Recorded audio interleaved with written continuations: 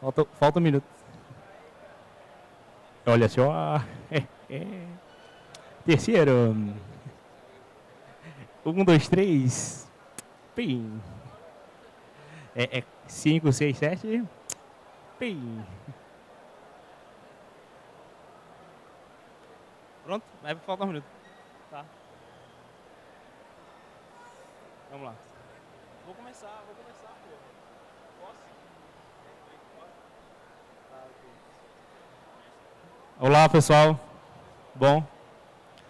Então, a gente vai apresentar um trabalho que envolve o grupo da USP e o grupo da UFBA, Federal da Bahia. E a gente vai passar aí por uma série de apresentações, onde vai começar falando de atratividade do projeto de software livre, qualidade de código, depois a gente vai falar do, do que a gente achou desses resultados, e numa segunda parte dessa palestra a gente vai falar das ferramentas. A gente vai mostrar as ferramentas e ao longo que a gente for mostrando as ferramentas, vai discutir um pouco também de como foram construídas essas ferramentas e, e como que a gente faz para extrair esses códigos. Então, essa primeira hora aí a gente vai tratar de atratividade, projeto software livre, que foi a tese de doutorado aqui do Carlos Denner, lá na Universidade do Estado de Illinois. Depois o terceiro fala de qualidade de código e eu vou falar desse resultado das nossas pesquisas, partindo para nossas ferramentas. Certo? Beleza? Então, o Carlos Denner vai começar aí a parte dele sobre atratividade.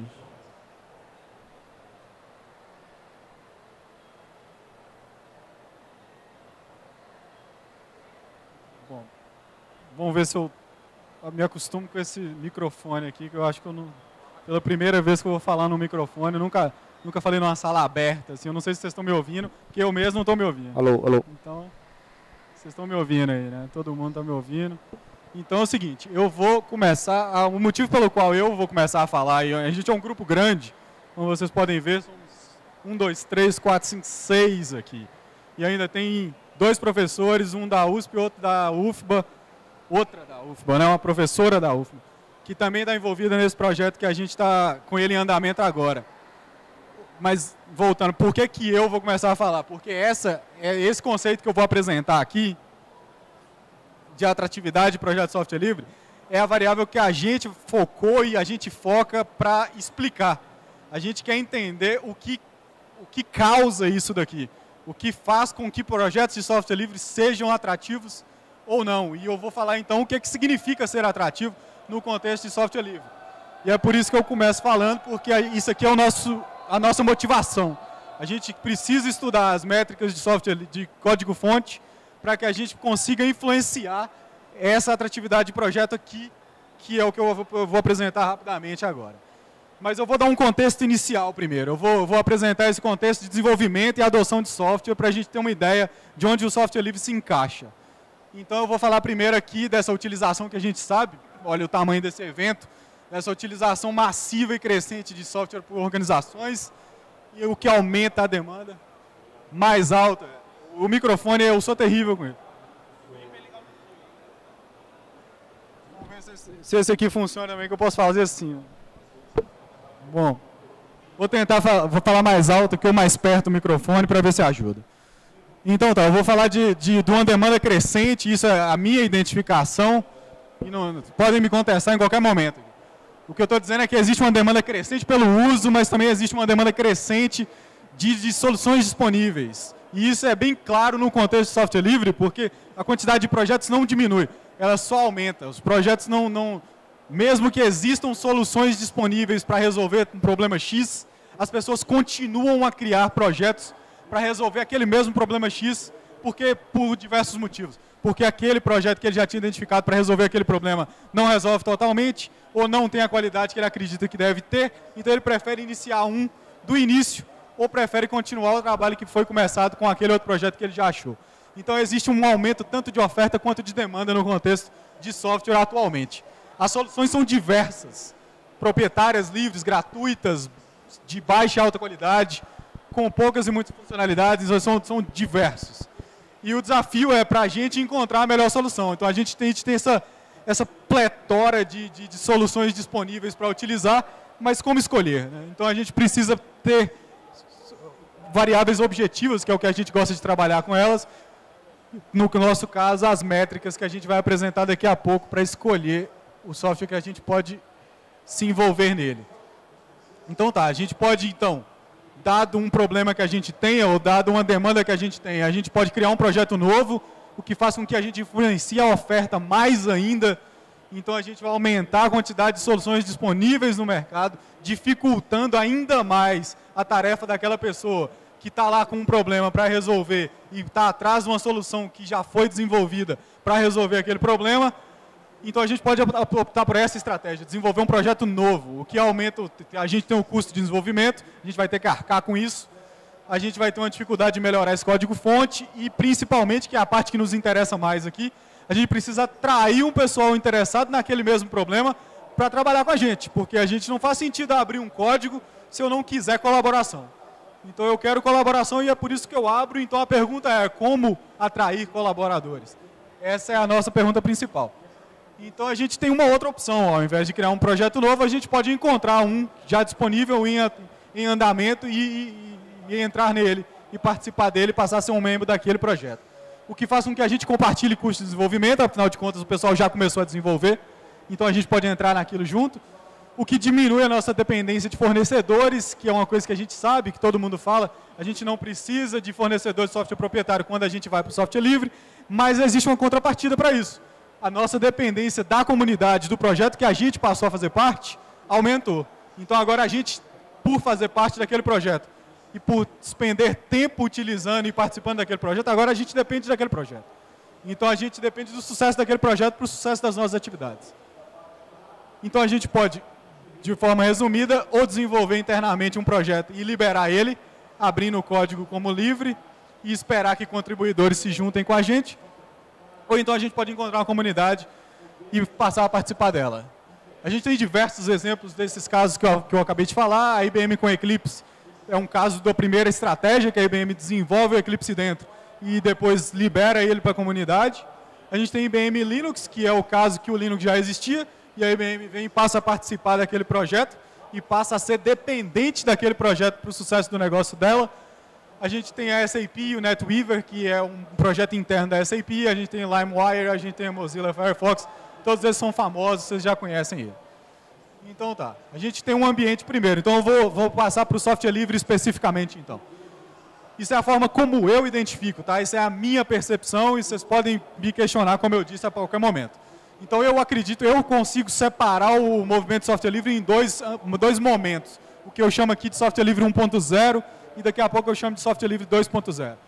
E no 1.0 eu acredito que a metáfora do bazar fazia muito mais sentido, não faz tanto no 2.0. A comunicação acontecia principalmente por e-mail, proporcionalmente, apesar de ter menos, menos desenvolvedores, a quantidade de voluntários era maior Tá? Voluntários, eu estou dizendo pessoas que não são pagas para desenvolver. E a licença do tipo GPL era chamada de viral. Não sei se vocês são familiares com o termo da GPL, que, que diz que você, para utilizar um software GPL, você precisa fazer com que o seu software também seja GPL. Então, por isso ela é chamada de viral. Porque você utiliza o meu GPL, ela é restritiva. Porque eu, eu faço com que você, eu tenho GPL, você quer usar o meu GPL, você vai ter que ser GPL também. Senão você não vai poder usar o meu GPL. Então a qualidade era meio que suspeita ainda, será se isso é bom, será se não é? Ainda era meio em avaliação, a gente tinha poucos projetos, os repositórios eram praticamente inexistentes. Tem uma interrogação ali, que provavelmente existiam alguns, né?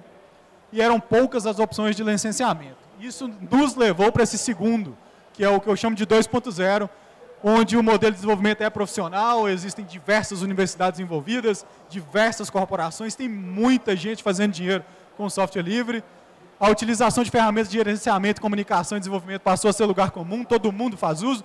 Quem não sabe fazer uso disso não está desenvolvendo software livre atualmente, não de forma séria, pode estar brincando, claro. Existe um alto envolvimento de corporações e organizações em geral. Proporcionalmente, eu acho que tem menos voluntários envolvidos, tem muito mais organizações não governamentais, universidades, corporações e pessoas debaixo dessas corporações desenvolvendo software livre. E software livre agora é parte de estratégia de mercado de todo mundo, seja eu pesquisador, cientista, seja a USP como divulgadora de trabalhos acadêmicos para a comunidade de uma forma geral. e licenças do tipo GPL já não são mais chamadas de virais, elas são chamadas de recíprocas, no sentido de que eu te dou, você me dá também, está tudo certo. A gente, reciprocidade de compartilhamento de código. Então a troca a complexidade do ambiente aumentou. O que, é que isso influencia para a gente? Por que, que eu estou falando disso no caso da atratividade? Porque a gente criando projeto, agora a gente atua dentro de um ambiente muito mais complexo do que era anteriormente. Era muito mais fácil conseguir colaboração antigamente do que é hoje. Por entrar num mercado gigante, eu estou chamando de mercado, as soluções livres disponíveis, quando eu crio o meu, eu passo a competir com esses caras que já estão lá por colaborações que venham. Então, eu, eu tenho uma mão de obra limitada, vamos supor que aqui o Campus Party seja um, o pessoal que seriam voluntários nesse desenvolvimento, eu tenho quantidade de soluções X disponíveis, esse pessoal só vai se envolver em determinados projetos e não vão se envolver em outros. Quem, vai, quem vão ser os escolhidos? É, de que forma a gente pode maximizar a chance de que a gente seja escolhido? Essa é a motivação da nossa história toda aqui, que o pessoal vai apresentar daqui a pouco as, as métricas de software livre, de, de código-fonte, para poder que a gente consiga maximizar isso. A gente consiga alterar o nosso código, preparar o nosso código melhor para que ele receba colaboração externa. Então a gente tem uma competitividade maior, a gente tem milhares de projetos e a quantidade de contribuidores disponíveis é limitada. Por isso faz sentido a gente estudar a atratividade, que é a propensão ou a tendência de se destacar e atender às expectativas de potenciais usuários e contribuidores operacionalmente, né, de forma tangível, como que a gente pode pegar em atratividade. E estatisticamente a gente pega, pega em atratividade através da quantidade de visitas que o site ou o projeto recebeu, a quantidade de vezes que o software foi feito o download dele e a quantidade de membros que entrou no projeto. Então, quanto mais downloads, quanto mais membros, quanto mais visitas, a gente diz mais atrativo e é, essas são as variáveis que a gente quer maximizar. Essa é a motivação nosso estudo, então, aqui é a representação gráfica do como que a gente enxerga isso. Atratividade lá é um conceito que a gente chama de latente, e ele é observado aqui, a gente não vê atratividade, atratividade é uma percepção nossa. A gente percebe, ah, eu, eu vou no Linux, mas por que, que você vai no Linux? Quando você vai no Linux, você tem um conceito na sua cabeça que faz com que o Linux seja atrativo para você, faz com que você use ele ou participe do desenvolvimento dele. E isso se expressa dessas formas. Você vai lá no site do Linux, você, você baixa o código do Linux, e você ultimamente termina sendo um membro da comunidade Linux e passa a ser um desenvolvedor. Então é isso, porque atratividade, eu espero que já esteja claro. Por que atratividade? Porque é isso que a gente quer quando a gente cria um projeto de software livre. A gente quer que o projeto receba contribuições, a gente quer novos voluntários, a gente quer novas pessoas, a gente quer novas organizações. E a gente precisa trabalhar nesse projeto, administrar ele de forma que a gente maximize as chances disso acontecer com a gente. Então, a atratividade para a gente representa o sucesso competitivo do projeto. Porque eu tenho lá diversas soluções disponíveis, se eu sou mais atrativo, eu tenho mais sucesso que o, o cara que tem lá uma solução igual a minha, mas ele não recebeu tantas visitas quanto eu, não tem tantos membros quanto eu tenho, ou quanto o meu projeto tem. E é por isso que a gente acredita que o, projeto, o conceito de atratividade é útil, e é por isso que a gente vai focar nele, e é por isso que as próximas etapas da nossa apresentação vão focar em como características objetivas do código-fonte do nosso projeto pode influenciar nessas variáveis aqui. Tá? E assim a gente consegue utilizar essa ferramenta administrativa, ou, onde focar o nosso esforço administrativo, para que a gente consiga maximizar essa variável. Por que, que a gente precisa fazer isso? A gente já sabe que o sucesso, sucesso do software livre é, é, dado ou é baseado na colaboração e na quantidade de membros envolvida.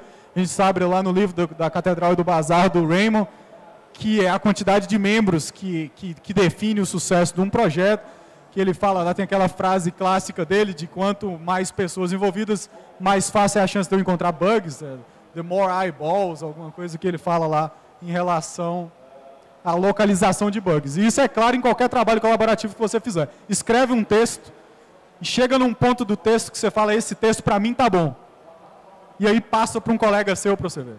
O que, é que vai acontecer? Ele vai voltar e falar, olha, isso está errado, tem esse erro, tem aquele erro. Então é isso que a gente quer. A gente quer mais pessoas olhando o nosso código, mais pessoas entendendo o nosso código, para que a gente consiga evoluir esse projeto, para que a gente faça dele mais bem sucedido no futuro.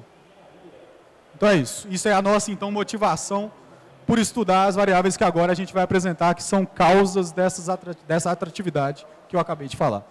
Com vocês, o Paulo. Então, quem vai, quem vai falar agora é o terceiro. Vai botando teu slide aí e eu vou falando aqui. Então, é, a gente quer atrair desenvolvedor para o nosso projeto, certo? E dentro do software livre tem a cultura do show the code, né? Desenvolvedor está preocupado com o quê? Com código fonte. Tá? E existe essa, esse charme do software livre. Ah, eu vou disponibilizar meu código, meu projeto e esse aí não é do projeto. Vou disponibilizar meu código, meu projeto lá no repositório, no SourceForge da vida e a comunidade vai começar a colaborar. Né? Tem muita gente que desenvolve seu trabalho na universidade ou qualquer coisa assim. Ah, software livre tem esse negócio do, da comunidade começar a colaborar. Então eu vou fazer um, um protótipo aqui, uma, uma versão 0.1 e colocar. Aí ninguém faz download, ninguém acessa o, o seu projeto, ou ninguém começa a usar ou começa a construir por alguns motivos. Tem motivos gerenciais e coisas de processo que o pessoal da engenharia de software fica tentando trazer para o mundo do software livre. Sendo que esquece que no software livre a gente está preocupado com o quê? Com código. É. Show the code. Como é que você consegue ser mantenedor de um, de um projeto de software livre? Através do código do patch que você mantém. Então a nossa abordagem é bem simples. Vamos começar a olhar o código fonte e vamos dar mecanismos, características, atributos, né? começar a estudar esses atributos do código fonte que tem a ver com essa atratividade. Então, o desenvolvedor, ele está colaborando com o projeto, ele não tem tempo de ficar é, com documentação, com processo, ele quer código fonte. Então, a gente quer, de maneira objetiva, dizer assim, olhe essas características do seu código fonte para ver se você consegue maximizar a atratividade do seu projeto. E é isso daí que o terceiro vai falar agora, sobre como controlar essa, essa qualidade e o que, que, são essas métricas. Algumas métricas, dentro do, de dezenas de métricas que existem, o terceiro vai apresentar algumas em detalhes.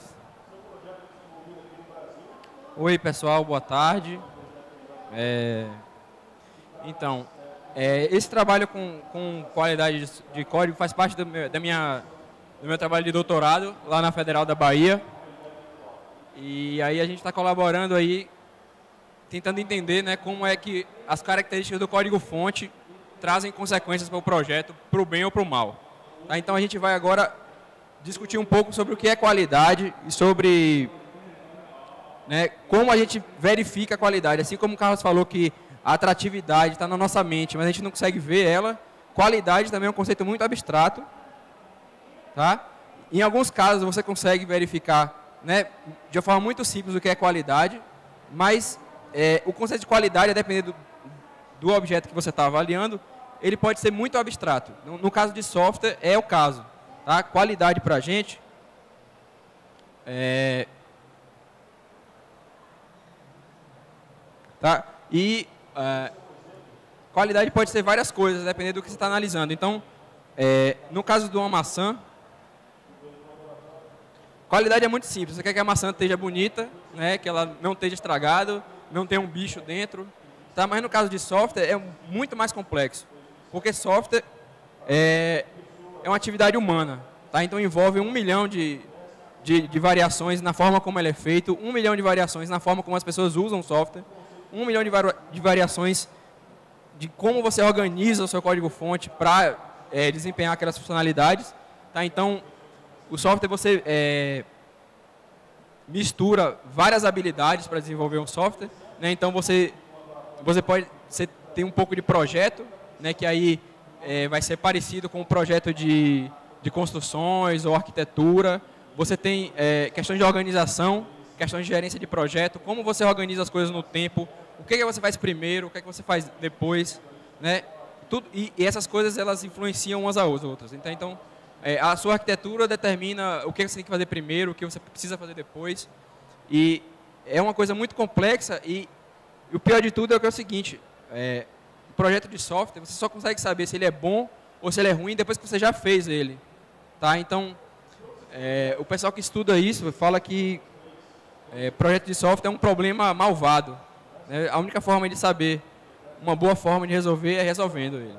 Tá? Então, por isso, é, a qualidade ela é, é um conceito abstrato e ela depende muito do ponto de vista.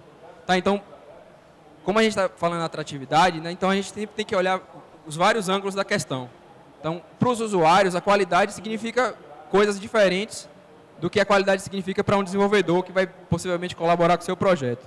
Tá? Então, do ponto de vista do usuário, a qualidade para ele é se o software faz o que ele precisa, né? se, se ele resolve o problema do usuário, que a gente está chamando de satisfação de requisitos, se o software tem poucos bugs, ou seja, se você consegue rodar o software sem que ele quebre toda hora e ele cause problema, que você perca dados, ou que coisas ele produza resultados incorretos, tá? Você quer um software que seja atualizado com frequência, ou seja, se caso ele tenha bugs, ao menos daqui a pouco tempo você vai ter uma, uma versão nova que, corre, que corrige aqueles bugs. Você quer um software que não demore um minuto para carregar. Né? Então, o usuário ele quer várias coisas e às vezes as coisas são conflitantes. Às vezes, é, satisfazer os requisitos é, implica em o software rodar um pouco mais difícil, mais devagar. Tá? Então, é, essas coisas, todas elas influenciam né, a percepção de qualidade do ponto de vista do usuário. Do ponto de vista do, do desenvolvedor que vai colaborar com o seu projeto, tá? ele quer que o, que o código seja fácil de entender, né, que você possa olhar o código-fonte, entender o que ele faz e poder fazer modificações no código, seja para consertar um bug ou para incluir uma funcionalidade. Você quer flexibilidade para modificar o código, ou seja, você quer poder modificar aquele código sem que uma outra parte do projeto deixe de funcionar porque você fez uma modificação. Tá? Então você quer que os, as partes do seu código sejam independentes entre si, que você possa modificar elas sem que uma tenha impacto na outra. Tá? Você quer, normalmente, às vezes, você quer ter uma suíte de testes, você quer ter um, testes automatizados que você pode rodar depois que você fez uma alteração e saber se está tudo ok, se continua o software funcionando, produzindo os resultados corretos, mesmo depois da sua modificação. Tá? Então, é, dentro desse ponto de vista, o que a gente vai estar falando aqui são coisas que que estão em negrito aí, que em teoria, né, é, antes de, desse trabalho, a gente achava que só fazia diferença para o desenvolvedor, né, que são atributos de qualidade do código-fonte, tá, que facilitam ou dificultam trabalhar com aquele código. A gente achava que isso só fazia diferença para o desenvolvedor. E aí, vou deixar com vocês com um gostinho de, de quero mais, e daqui a pouco a gente vai falar sobre isso. Mas por enquanto a gente vai entender né, o que é essa qualidade. Então, é, a nossa percepção de qualidade em qualquer área do conhecimento depende de atributos. Você quer, quer poder identificar né, é, atributos daquele objeto que você quer medir a qualidade e, em função desses atributos, atrib é, associar ao, ao, seu produto uma definição de qualidade. Né? Tem baixa qualidade, média qualidade, alta qualidade. Então, a gente sempre quer identificar coisas no, no produto que você é, pode mensurar e pode usar para comparar dois produtos em função da qualidade dele, ainda que a qualidade em, em si seja um, um, seja um conceito é, abstrato, a gente pode usar os atributos para representar para a gente a qualidade e permitir que a gente possa é, comparar dois produtos. Tá? Então, um primeiro atributo de qualidade de software é tamanho. Tá?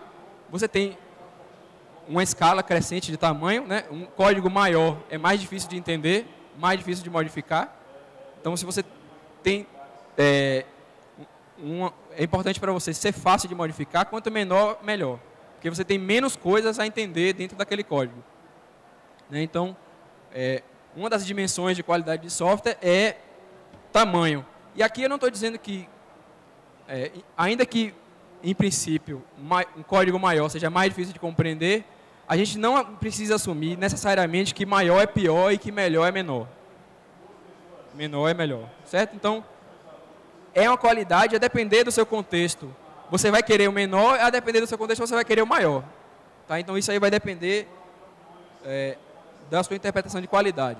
Uma outra medida de, um outro atributo de, de qualidade é o acoplamento. Né?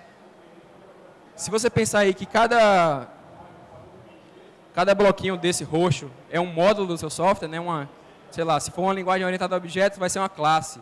Ou se for uma linguagem como C, vai ser um, um arquivo de código-fonte, um módulo. Tá? E as setinhas aí indicam o, é, a dependência entre módulos. Tá? Então, se eu tenho uma seta desse cara para esse, significa se eu alterar esse cara aqui, esse aqui que depende dele, provavelmente vai sofrer as consequências dessa alteração. Tá? Então, é, o acoplamento ele diz para a gente o quanto um, o quanto um módulo depende de outros módulos, né, de forma que alterações nesses módulos dos quais você depende podem ter consequências em você. Então, é, a gente pode perceber muito claramente né, que se é, cada quadrado desse representar um software diferente, né, a gente pode perceber a diferença de compreender o funcionamento, né, até mesmo sem eu dizer o que é que isso aqui faz, é muito mais fácil para vocês entenderem é, a estrutura desse código aqui do que é de lá. Certo? Então você tem é, módulos com baixo acoplamento. Então eles dependem um pouco é, entre si.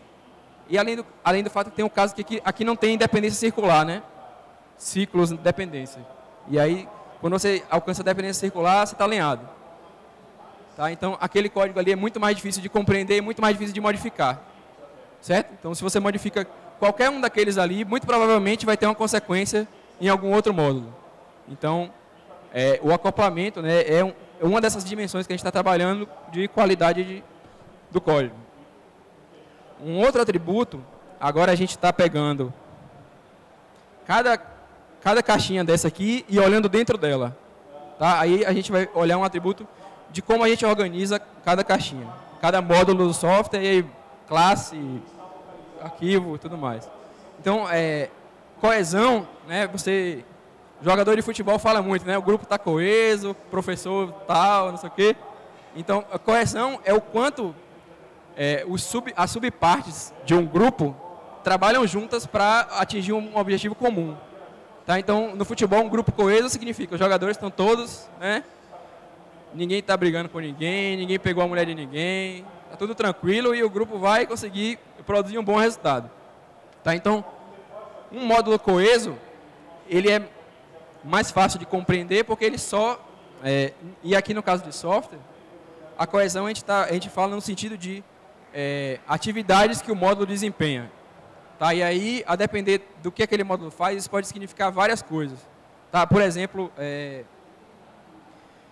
você vai num, numa aplicação, normalmente tem vários, é, várias coisas que precisam ser feitas. Você precisa acessar arquivos no, no disco, você precisa fazer acesso à rede, você precisa é, fazer cálculos que resolvem o problema do usuário, você precisa exibir, é, exibir os resultados na tela, você precisa ler as entradas do usuário através do mouse, do teclado ou de qualquer outro tipo de dispositivo.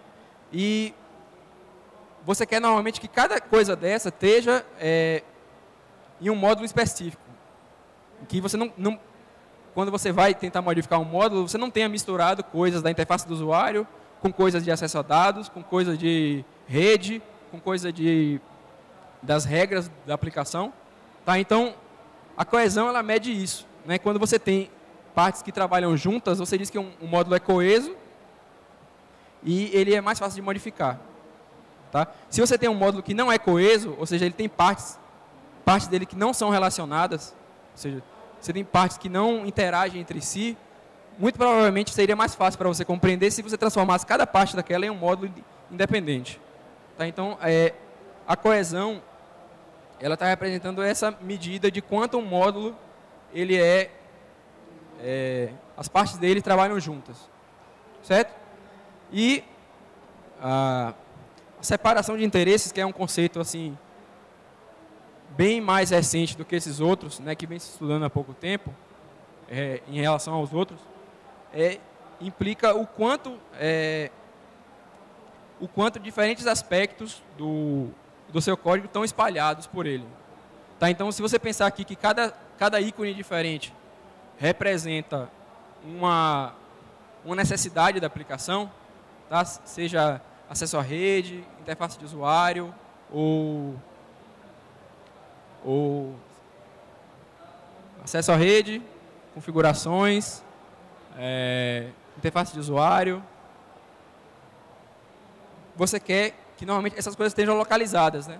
Você não, não só você quer que um módulo trabalhe com apenas uma coisa, você também quer também poder localizar claramente aonde está a parte do software relacionada àquele, àquele interesse, né, que é o que a gente chama de interesse. Tá? Então, se você tem um módulo que está totalmente dedicado ao interesse, isso é bom, porque aquele módulo, quando você está é, analisando aquele módulo, você pode se concentrar apenas naquele aspecto da aplicação que é importante para você naquele momento. Agora, quando um módulo tem vários interesses é, ao mesmo tempo, isso é ruim, porque você vai alterar a parte que, que diz respeito a esse interesse aqui, provavelmente você vai afetar esse, ou vai afetar esse, e assim por diante. Então, quanto mais assuntos diferentes tiverem num, módulo, pior. E tá aí a gente tem dois conceitos. Você tem o conceito de emaranhamento, que é quando você tem vários interesses no mesmo módulo, eles estão emaranhados, estão embolados aqui nesse módulo. E você tem, que aí diz respeito ao módulo, né?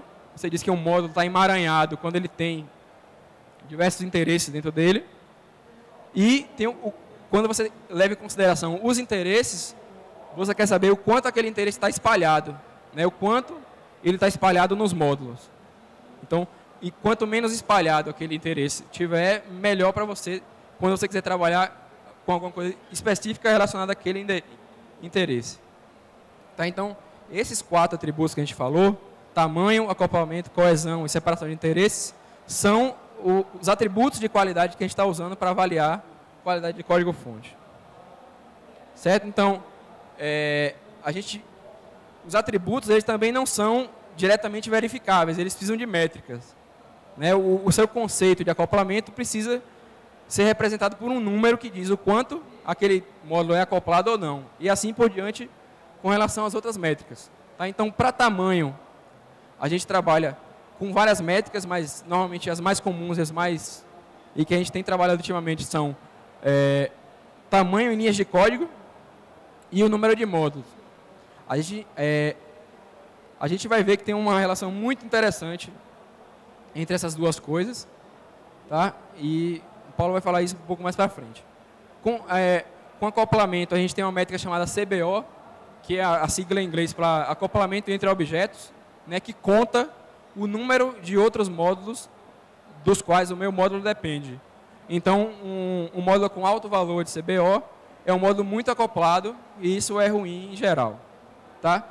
Coesão tem uma métrica, originalmente existia uma métrica chamada LCON, né, existe ainda, e aí a definição dessa métrica foi muito questionada. Então as pessoas propuseram novas definições e a que a gente está trabalhando chama ele com 4. Então se vocês é, olharem essa figura aqui, o L com 4 ele diz quantas partes independentes o módulo tem. Tá? Então você vê aqui que tem duas, claramente duas partes que não se relacionam entre si, mas os as, os, as subpartes desses grupos eles se relacionam entre si. Então, nesse caso, esse módulo teria ele com 4 igual a 2, né, porque tem duas, gru, dois grupos independentes de, de parte do módulo. Tá? E aí, parte do módulo pode ser métodos, funções, variáveis e tal. Então, é, o LCON né, é a sigla em inglês para falta de coesão entre métodos. Então, no Helicon é o contrário, né? Uma classe com baixo Helicon significa uma, classe com alta coesão, ou seja, um, uma classe ou um módulo que é coeso, isso é bom. E um alto valor de Helicon significa que tem muitos assuntos diferentes sendo tratados ali, então isso é pior. Então, em geral, a gente está trabalhando aqui as métricas, né? É, quanto maior o valor da métrica, pior aquilo para a compreensão do código, para alteração. E com relação à separação de interesses, apesar da gente não estar tá trabalhando agora com essa métrica, porque é bem mais complicado de calcular, né? você tem uma métrica chamada CDOC, que é para espalhamento, ou seja, ela conta, essa métrica representa o, em quantos módulos o meu interesse está espalhado, né? e aí quanto mais espalhado ele tiver, pior. E uma métrica chamada CIBC, que é de entrelaçamento, que aí é do ponto de vista do, do módulo. Né? Quanto mais interesse no módulo, mais entrelaçado ele está e aí pior. Então essa métrica também sobe na medida que piora. Tá? E aí, é, existem várias, vários usos que você pode dar para métricas de software. Um deles é avaliar a, a evolução dessa métrica no tempo. Então, esse gráfico aqui mostra de um projeto a evolução da complexidade estrutural, que é um, um conceito que a gente vai falar ainda mais para frente, que é, é durante o tempo. Então, você vê que a complexidade estrutural que impacta diretamente no, no, esforço que dá, no trabalho que dá alterar um software, ele sempre aumenta. Então, se os desenvolvedores do projeto tiverem essa consciência né, e saberem de que é, é, quais as consequências essa, essa métrica tem e que ela sempre está aumentando no seu projeto, eles vão poder tomar é, atitudes concretas para resolver esse problema né, para evitar os efeitos que isso pode ter. Tá? E no nosso caso também, um outro uso de métrica, a gente está tentando entender né, o quanto esses atributos de, do código-fonte impactam na atratividade.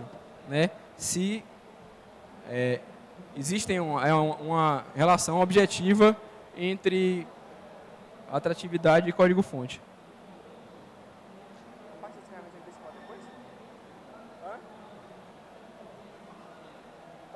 Tá, então aqui eu vou pular essas partes que falaria do analiso aqui, mas o pessoal já vai falar. E acho que por enquanto é isso, a gente vai continuar conversando aqui. Obrigado. Então, continuando nosso rodízio aí, agora sou eu de verdade. É, vou concluir essa parte aí em relação à atratividade e, e atributos de código-fonte, que foi o que a gente conseguiu aí realizando nossos estudos científicos e estatísticos. E a gente não vai deixar vocês só na questão que na questão abstrata do que é qualidade de código, essas métricas. É, eu aposto que muitos de vocês, quando leram assim, ah, vai ter uma palestra sobre qualidade de código, pensou, ah, os caras vão falar de teste. Né? Alguns de vocês pensaram isso. Porque esse conceito, esse conceito de métricas de código-fonte, ou qualidade de código-fonte, as pessoas, sempre que eu falo, ah, o que é que você está fazendo na USP? Ah, eu estou pesquisando, desenvolvendo ferramentas e trabalhando com qualidade de código. Ah, você está trabalhando com testes? Não. E a gente vai mostrar aqui uns motivos é, dessa dessa falta de conhecimento em relação a essas métricas que o terceiro apresentou. Né? Por que, que eu não uso uma ferramenta que me que monitore ou que me dê um número de coesão, ou de acoplamento, ou de, o número de molas? Eu, porque eu, eu até agora não monitorei isso aí. Porque faltam algumas coisas que a gente vai tratar daqui a pouco, principalmente quando o João e a Luciana e o Carlos forem apresentar as ferramentas. Mas ainda a gente quer mostrar para vocês que, além de tecnicamente importante para o desenvolvedor, para a equipe você olhar isso daí, a gente vai apresentar para vocês que há uma relação direta e proporcional, inversamente proporcional em relação a algumas métricas, quando você quer atrair usuários e membros para o seu projeto. Tá? Então, deixa eu ver aqui se eu...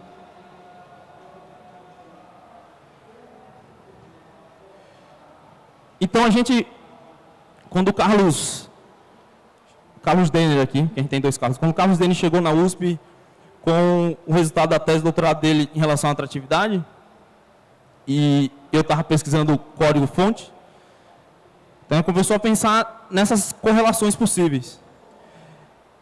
Então, se você for ler, o, onde é que está a questão do sucesso de determinados softwares, projetos, softwares livres? É porque tem uma comunidade grande, tem muitos usuários, esses usuários fazem o quê? É, além, o, aí tem usuário passivo e o usuário ativo, né? Tem o usuário mais ativo, ele já reporta um bug, né? Ele até pede uma funcionalidade a mais e por aí vai. Daí pode ser uma pessoa individual, pode ser uma empresa. Tem aquele usuário é, ativo, né? Que reporta um bug e, e as comunidades se preocupam em usar ferramentas que facilitam esse tipo de coisa. Reportando um bug, né?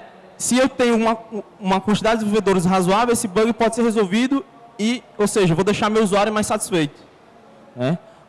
Quando eu sou um desenvolvedor, quem é desenvolvedor, ah, você vai, você vai contribuir com o, o projeto do Paulo lá na USP, do João, da Luciana, não, você vai contribuir lá com o Debian, você quer lá contribuir com o Firefox, ou seja, o desenvolvedor também está interessado numa certa, num certo tamanho, certo, uma certa fama desse projeto. Ou seja, para você construir é, essa comunidade grande, para você ter esse ciclo que garante a qualidade do projeto, né, são N fatores, concordam? O que leva você a baixar um software é o quê? Um amigo indicou, né? Você olhou uma dica na internet, você veio aqui no Campus Party, aí o cara apresentou um software, ou seja, é N variáveis e, e como, tanto como atratividade quanto qualidade, é uma questão de percepção e no caso de você usar um software ou não, é uma questão de é, decisão humana, que é, né, a gente não precisa dizer que é complexo, né? Cada um é cada um.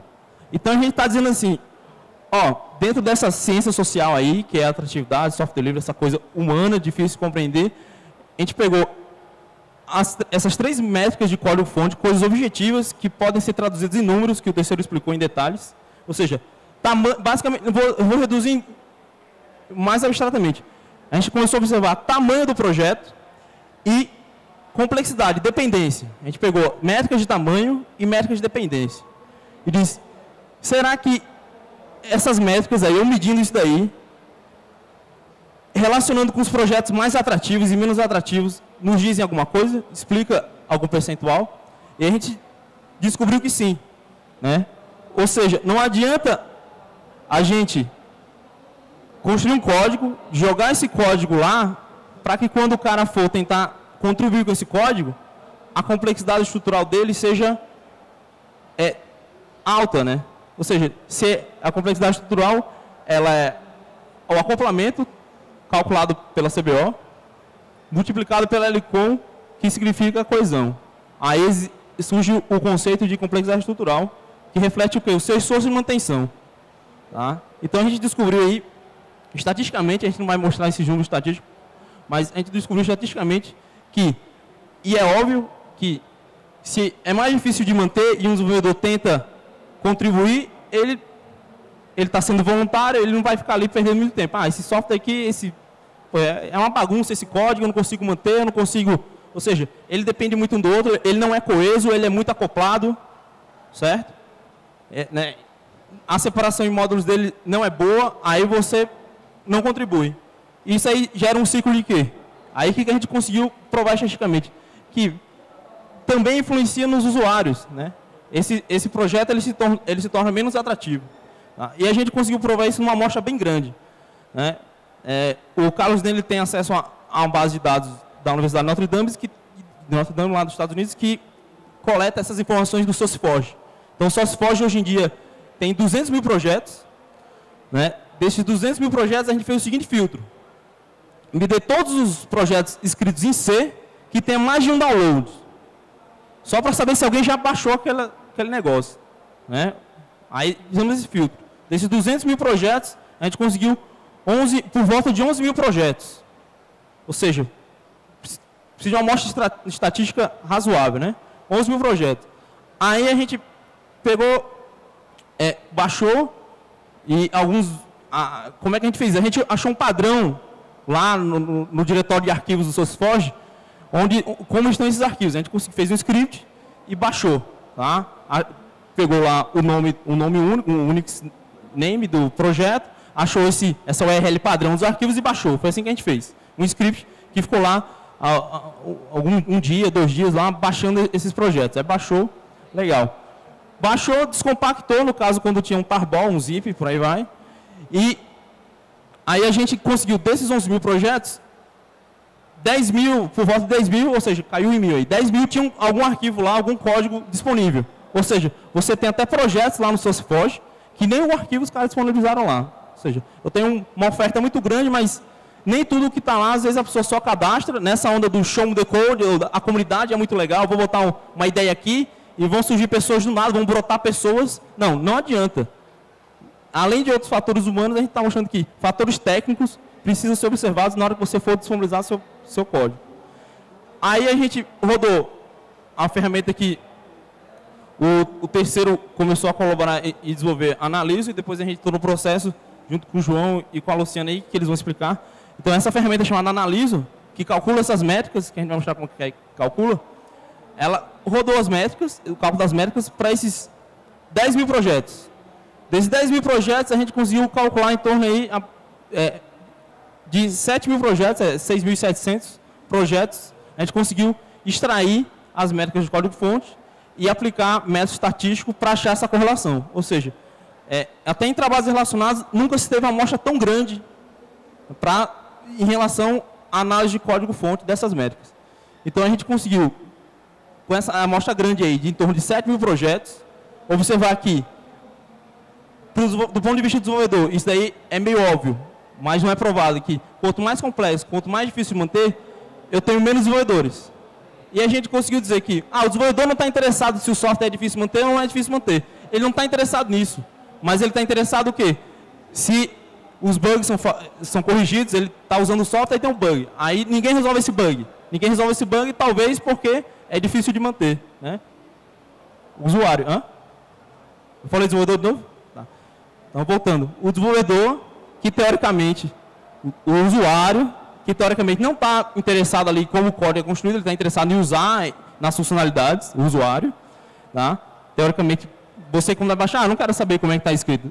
É, você não quer saber como é que está internamente, mas está dizendo que essa complexidade faz com que, talvez, né, o interesse do usuário caia porque um desenvolvedor não consegue manter esse código, não consegue corrigir bugs, não consegue aumentar as funcionalidades. E outro projeto que é mais fácil de manter, que evolui mais rápido, aí chama mais atenção dos usuários, ou seja, conseguimos estabelecer essa relação direta. Ou seja, você que é desenvolvedor, você tem que se preocupar com essa característica do seu código-fonte, coesão e acoplamento, que pode ser monitorada por CBO e LCOM, ou seja, duas métricas só.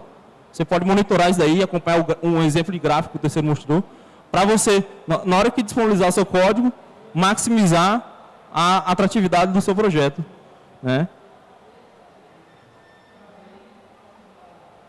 Outra coisa que é, também é óbvia, óbvia é que eu tenho mais linhas de código, meu projeto é maior, eu atraio mais desenvolvedores e mais usuários. Ou seja, linhas de código aqui está traduzindo o quê? Eu tenho mais linhas de código, eu tenho mais o quê? Mais funcionalidades.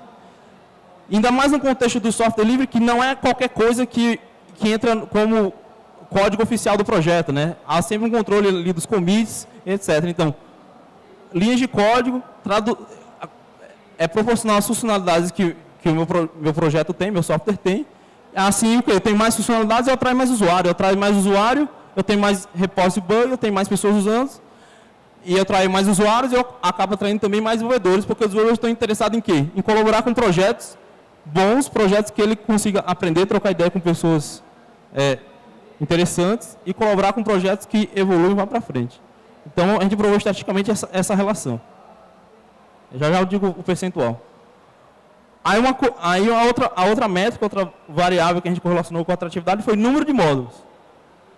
Aí, aí deu a, a diferença. Em, rela, em relação aos desenvolvedores, ou seja, o meu código está mais separado, eu tenho mais módulos, né? Ele está melhor organizado, ele é maior também em termos de número de módulos. Isso daí, quando o desenvolvedor vai tentar contribuir, fica mais fácil para ele, aí começa a atrair mais desenvolvedores, que gera esse ciclo positivo em relação aos desenvolvedores. Ou seja, mais módulos, mais separação em módulos, eu atraio mais desenvolvedores. Mas isso daí não traduziu, não provou nossa hipótese em relação aos usuários. Né? Então, os usuários realmente estão interessados nas funcionalidades. Ou seja, tem linhas de código que, que dão funcionalidades e as pessoas conseguem manter assim, aí realmente para o usuário não interessa se isso daí está organizado em módulos ou não. Tá? Então, aí é uma coisa que a gente vai mais, mais para frente investigar essa relação de módulos e usuários. Por fim, o que a gente, nesse primeiro passo dessa pesquisa, preste atenção que isso é uma pesquisa, é algo que está envolvendo dois doutorandos, um pós-doutorando, pessoal que está concluindo graduação na USP, está no mestrado. Ou seja, esse primeiro passo que a gente deu é se você monitorar quatro métricas, CBO para acoplamento, L com 4 para coesão, é, em relação às linhas de código e os módulos do seu projeto vão crescendo, a gente conseguiu explicar que você consegue potencializar a atratividade do seu projeto em 18%, o que para ciências sociais isso é, isso é muito. Tá ok? Então foi isso daí que a gente, é, já na primeira rodada de experimentos, com quase 7 mil projetos inscritos em C disponíveis no SourceForge, a gente conseguiu achar essa correlação. Então, você que é desenvolvedor e quer disponibilizar seu software, procure ver CBO para complemento, LCOM para coesão e a divisão de módulos e também, obviamente, as, à medida que as linhas de código, as funcionalidades vão crescendo, certo? Não adianta crescer e o software ficar tão complexo que depois os novos desenvolvedores não vão, não vão conseguir se inserir no processo de colaboração do projeto. Tá ok? Então foi essa parte. Então aí a gente encerra, digamos, a parte mais científica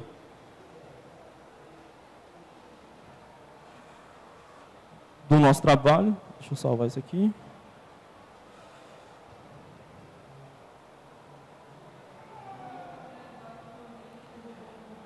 Aí o, o agora a gente vai, entrar numa discussão. Por que que métricas de código... Ah, se isso é tão legal e vocês já estão provando isso daí, por que que isso daí já não é usado? Porque, já que tem essas métricas, existem outras métricas, e por que que a gente tem tanto, tantos problemas ainda com relação a, a, a determinados softwares, ou porque muitos softwares que estão lá no SourceForge, por exemplo, são abandonados, né? Por que que isso daí não está acontecendo e porque as, os desenvolvedores mesmo, as comunidades de software livre e, e também do mundo proprietário não estão observando com detalhes métricas de, de código-fonte. E sendo métricas de código-fonte que tem sido proposta lá desde a década de 70 e a gente já está em 2010 e ainda não é uma coisa muito bem disseminada. Tá? Então, existe um problema de você conseguir entender essas métricas. Tá? Não adianta Agora, beleza, eu sei o que, que é. O terceiro me explicou o que, que é LCOM, o terceiro explicou o que, que é CBO, a gente sabe o número de módulos, beleza. Aí uma galera já desenvolveu uma, determinadas ferramentas que calculam automaticamente esse, essas métricas. Mas na hora que ela mostra para você, ela mostra algo assim. Algo assim, beleza. Eu sei que é, eu sei que é acoplamento, eu sei que é que dá para medir com CBO, sei que é LCOM, por exemplo, sei algumas métricas, mas na hora que uma ferramenta me dá, mesmo eu sendo desenvolvedor, na hora que uma ferramenta me dá esse número, eu não consigo entender. Não, não tem como entender o que significa CBO 1,33, a complexidade cromática 2,8. É um número, está medindo automaticamente, mas não tem. E não parece justo você pegar esse número e comparar com outros projetos. Tá? Então, ou seja, há uma falta ainda de, de sistematizar essas métricas, saber quais métricas são úteis mesmo, quais que têm correlação, foi mais ou menos o que a gente fez no trabalho. E eu preciso que, ter o poder de, nessas ferramentas, configurar e poder interpretar essas métricas. Ou seja, nem que seja graficamente, ou com dizendo, ah, isso está bom, isso é, isso é ruim, segundo algum estudo. Ou seja, ainda precisa o quê? achar valores de referência para você saber o que, é bom e o que é ruim. Aí, aí entra num, numa cadeia aí de, de, perguntas. Ah, isso aí pode ser bom para Java, mas isso pode ser bom para C, é, pode ser bom para um domínio de aplicação, não pode. Então, ou seja, existe um problema em aberto e por isso que isso daí é uma, uma pesquisa. Tá? Então, a gente, é, a gente lá na USP desenvolveu uma ferramenta, prototipou uma ferramenta, na verdade, e que permite você configurar essa ferramenta para você entender o que é essa métrica. Mas quando eu digo você, eu digo sua equipe. Digamos que você está na equipe e tem um cara lá que entende um pouco mais de métrica. Que entende um pouco mais, o arquiteto. Tá? Existe um, ou, dentro da comunidade software livre dentro da empresa. Existe um cara que entende um pouco mais de, dessa, da engenharia ali, da arquitetura do software. Então, ele vai configurar essa, essa ferramenta e a partir dessa configuração de um especialista, que pode também surgir, pode ser resultado da nossa pesquisa ou não, mas pode surgir dentro da empresa ou dentro da comunidade. Então ele vai dizer ali, ah, isso aqui é razoável, isso aqui é bom, isso aqui não é, dentro do que a gente acha bom. Ou simplesmente a empresa já tem um software bom, que ela acha que é bom, ó, esse daqui, eu quero que todo software tenha esse padrão de qualidade aqui. Aí coleta as métricas dele aqui e agora esse daí é a minha referência. Ou seja, estou dizendo que eu preciso configurar. Não, vai adianta, não adianta, não adianta as ferramentas eu saber o que é a métrica, uma ferramenta me calcular essa métrica, e eu não conseguir entender e interpretar, a não ser que eu seja muito especialista. Ou seja, é uma curva de aprendizado muito grande. Então, o desenvolvedor ainda tem que desenvolver, tem que ficar de olho nisso. Aí, por isso que as pessoas não usam métricas de código-fonte. Porque o cara tem que aprender a programar, tem que aprender, ainda tem, pô, ainda vou ter que saber direitinho o que, que é CBO, o que, que é LCOM, ainda entender esses números. Aí, aí que está o problema, e por isso que vai essa pesquisa toda.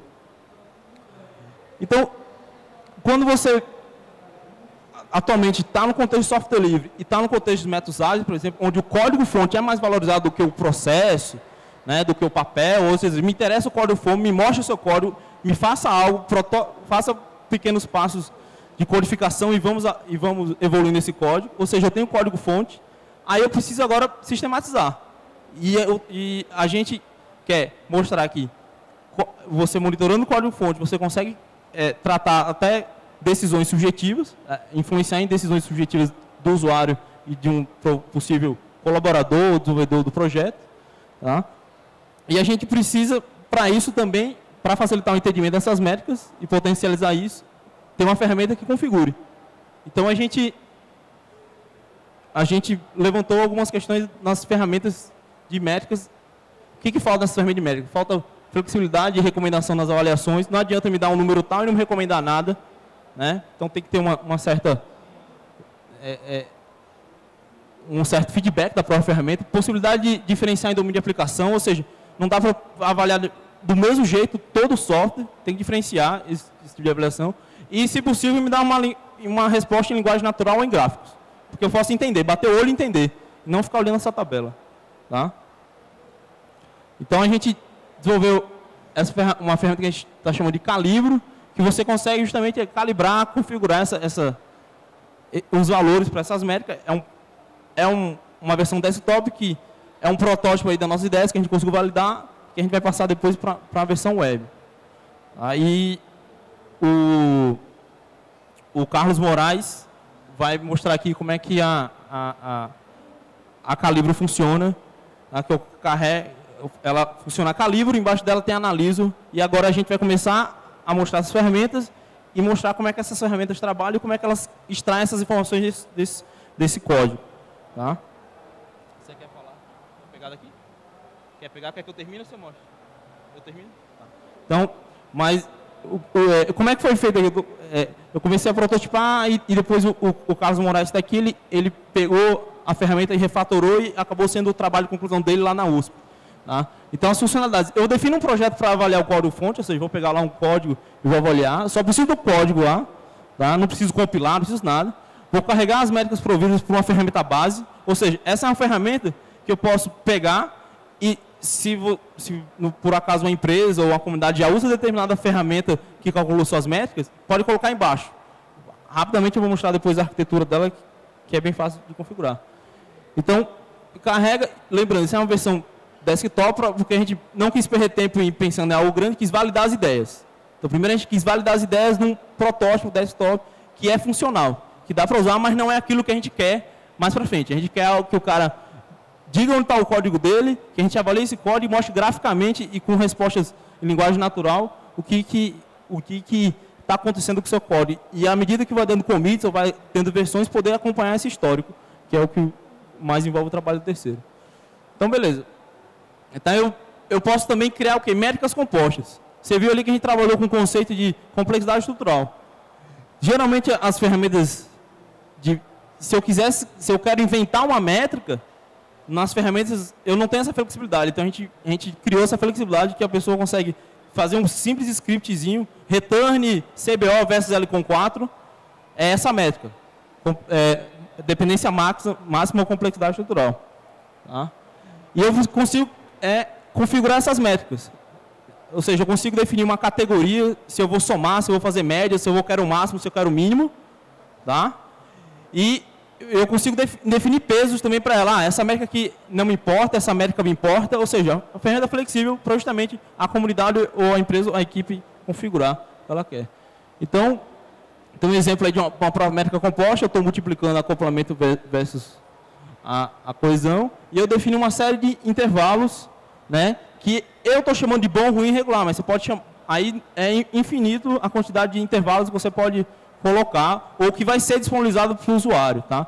Isso daí, a ideia é, para o usuário que eu digo desenvolvedor, a ideia é que a gente mesmo, a comunidade, chegue num, num, consenso naquela domínio de aplicação, naquela equipe, naquela empresa, de quais as suas referências, configure aqui, um, um especialista, ou equipe configurou uma vez aqui pronto. O, o resto da equipe, os desenvolvedores, não precisa ficar se preocupando com métricas, ele vai ter um feedback desse tipo de ferramenta. Tá? Então, definir os intervalos, associando uma nota e com comentários. Ou seja, eu estou dizendo para o cara que ah, se sua complexidade estrutural, sua definição é, é, é, é máxima está muito alta, aí diz, ó, olha o link tal, estude determinadas coisas, olha o livro tal. Né? Ou seja, estou dando feedback para o cara. Isso aí tem um problema, você não está separando. Isso daí a própria equipe vai amadurecendo esse tipo de referência ou a própria comunidade de software pode amadurecer esse tipo de, de referência, ou seja, uma colaboração também no consenso do que é bom e o que é ruim. Ou seja, a gente está proporcionando essa ideia, que chegue no consenso de determinado... Isso totalmente flexível. E, de repente, a gente quer que se crie uma, uma comunidade de, de configurações. Ah, a USP disponibilizou essa configuração aqui. Ah, o pessoal do Campus Party fez uma oficina e disponibilizou essa configuração. É, o, o Kent Beck, lá do Caras Métodos Ágeis, achou legal e disponibilizou essa configuração aqui. O Linux falou que para avaliar o código do Linux, esses intervalos aqui são bons.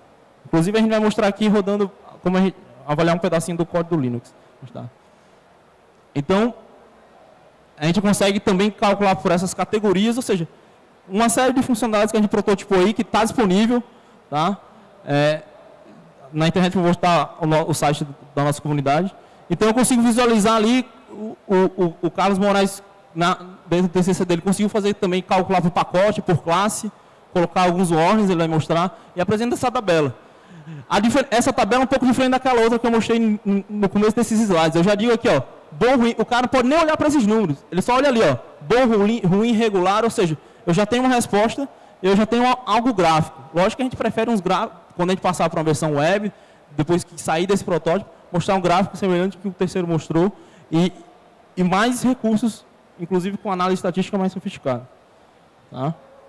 E o legal é eu consigo é, calcular uma nota final, digamos assim, uma coisa abstrata, para eu comparar com outro projeto. Minha empresa já desenvolveu cinco softwares, já foi o mesmo estilo. Aí eu vou comparar um pouco esses softwares. Ou seja, dá para fazer várias coisas com as ideias que a gente prototipou. Aí você salva, carrega essa configuração, você pode testar o mesmo software com diferentes configurações, configurações que eu digo que são intervalos para essas métricas e recomendações, que a gente espera que quando isso daí estiver mais maduro, surja que a comunidade software livre e as pessoas comecem a usar e comecem a dar feedback, ah, eu acho essa configuração melhor por causa disso, por causa disso, e, e a gente consegue entrar nesse ciclo positivo. Tá? É, vou passar. Então, se tem algum desenvolvedor aqui e fala assim, é, tá, eu quero usar a Calibro aí porque eu já tenho uma ferramenta de métricas qualquer. Então, a gente, a gente desenvolveu de uma maneira que eu tenho a interface gráfica, tenho em cima dessa parte aqui que a gente chamou de serviços, eu tenho é, o, as classes, é um, é um, foi feita em Java, esse, esse, essa prototipação da Calibro, que é funcional, já funciona, não é só protótipo.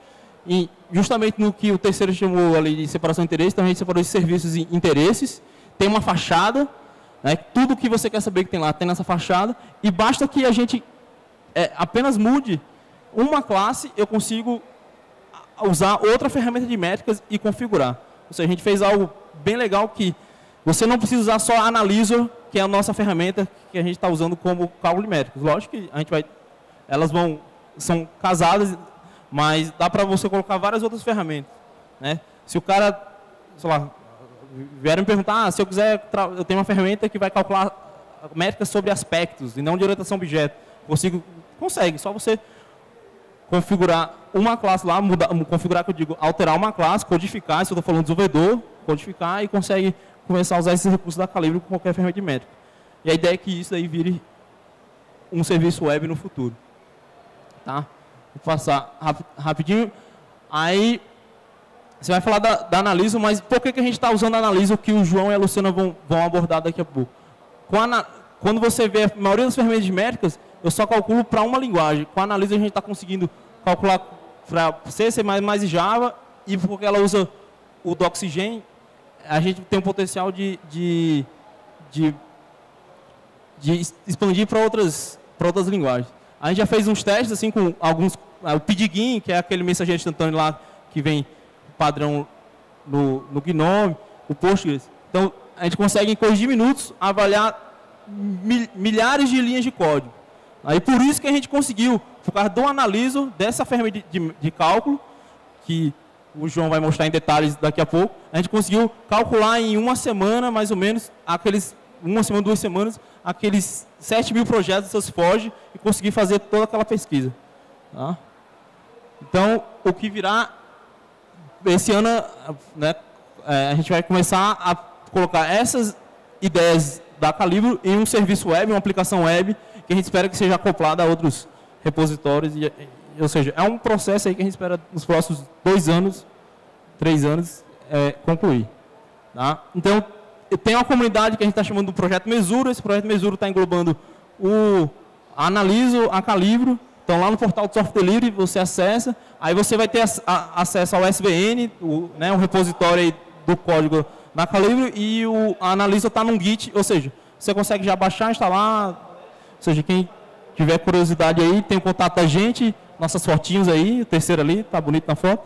Aí, é, o Denner, só o João não botou a foto dele. Temos uma menina na nossa comunidade, né, mas é, por aí vai. Então, agora vamos parar de blá blá blá e vamos mostrar alguma coisa, né? O, não, o, o Carlos Moraes vai mostrar aqui o... Eu vou fechar aqui, Carlos, e, e você...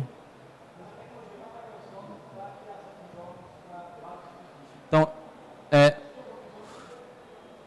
o, o Carlos Moraes que deu. Deixa eu cancelar isso aqui. Deixa eu fechar isso aqui.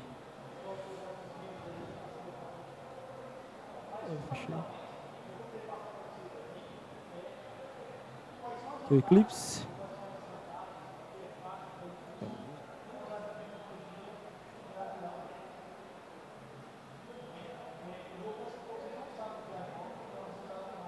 Então aqui, aqui tá a Calibro, deixa eu fechar isso aqui.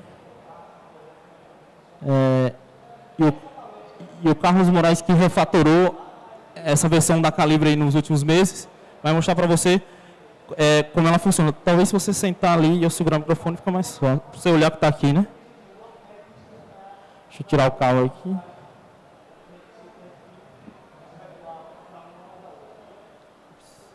Precisa de internet. Senta aqui no canto.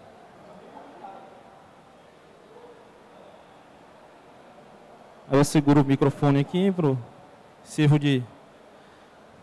Então, é, é, vou já o ambiente Eclipse, normal, e, e vai mostrar, o Carlos vai falar aí rapidinho como é que funciona essa calibro.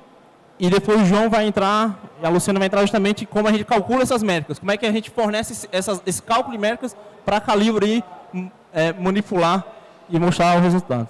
O que, é que você vai mudar aí?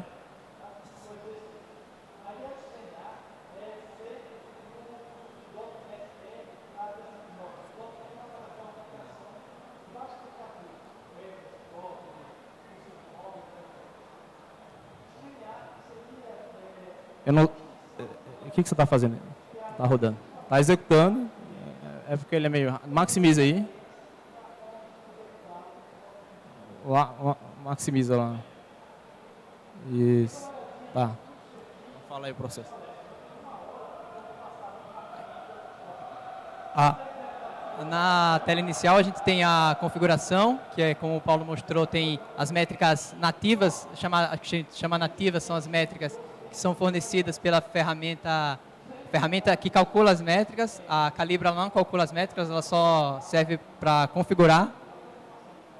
E do outro lado tem as métricas compostas, que a gente pode fazer com, através de um script, a gente pode criar novas métricas baseadas nas métricas fornecidas pela ferramenta base.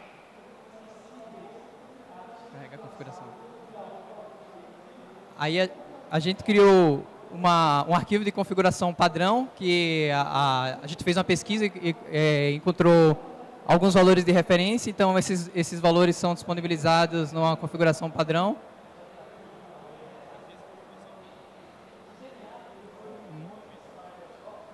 É, essa configuração aí que já vem carregada é, a, é a, uma configuração da própria ferramenta, a, a no caso.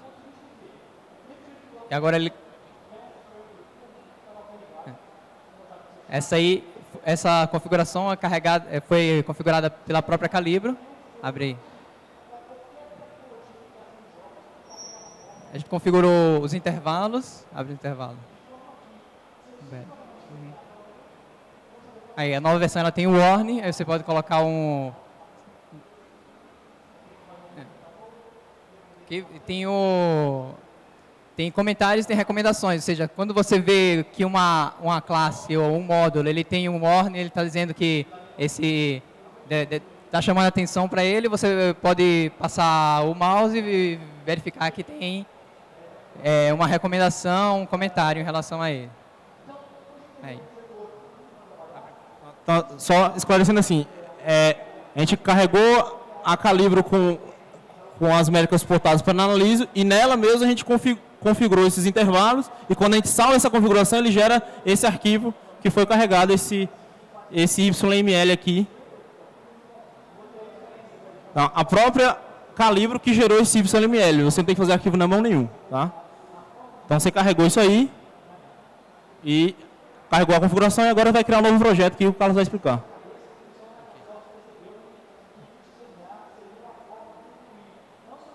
Aí o, o, projeto ele tem um nome, uma, o aí você coloca o código fonte e uma descrição do que é o projeto.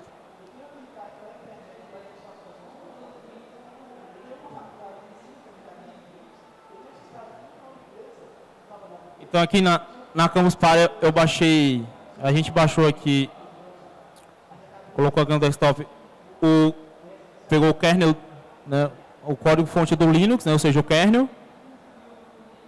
Como vai demorar muito, eu não vou avaliar todo, vou pegar só esse, esse diretório aqui, não sei se dá para ler, mas tem um diretório aí chamado kernel, que eu vou falar quantas linhas de código tem. Tá? Então, abri, deu um nome, dei um caminho padrão dentro do meu, meu código. Isso quando a gente for fazer a aplicação web, a gente quer o quê? Que o usuário diga assim, me dá o seu repositório. Me diga onde está o seu repositório, que em tempos em tempos eu vou ficar monitorando o seu código nesse repositório. Certo? Como é, como é a participação local. E você bota aí uma, uma, uma descrição qualquer aí e está salvo.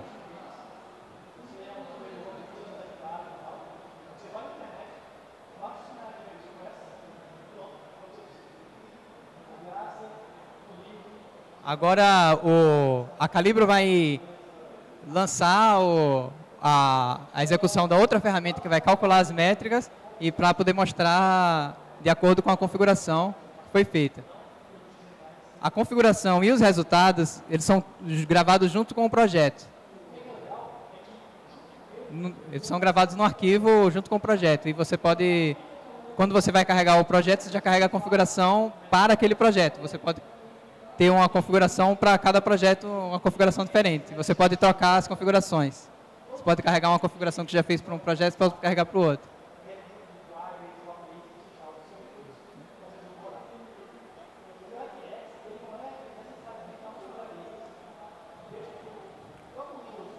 Aqui, então a gente calculou a todas as métricas aí, a, a, em torno das 15 métricas que a Analisou tem, mais a métrica composta que a gente fez, em cerca de 20 segundos, eu não estou chegando direito ali, mas é, 25 segundos, a gente analisou aqui, ó, 83 mil linhas de código, de um pedaço do módulo Linux, e, e aí, segundo esses valores de referência aí que a gente achou na literatura, mas não quer dizer que são os melhores, né, a gente achou algumas, algumas coisas que estão boas e regular no do Linux.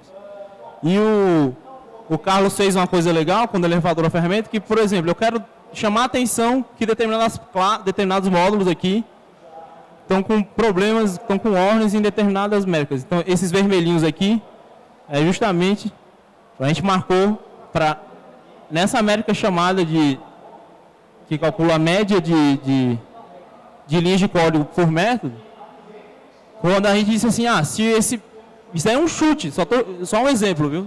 Mas ah, a gente está dizendo, se, se um método lá tem mais de 20 linhas de código, ele já fica complicado de eu entender. Tem 20 linhas de código ali, linhas executáveis, né? tirando espaços brancos, tá? já fica um negócio muito grande. Então, um, um, um chute aí de um valor da América e a gente marcou para dar o quê?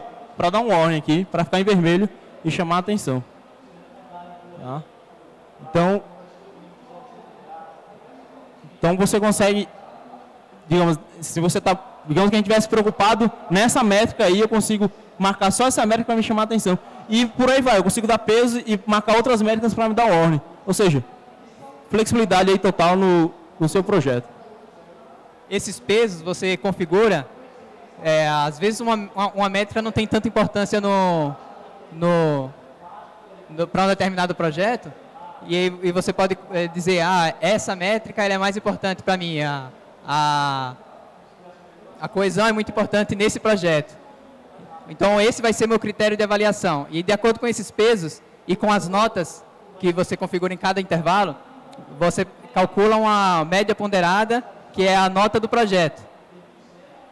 E essa nota ele poderia servir para você conhecer seu critério, que está expresso nos pesos, você poder comparar vários projetos diferentes.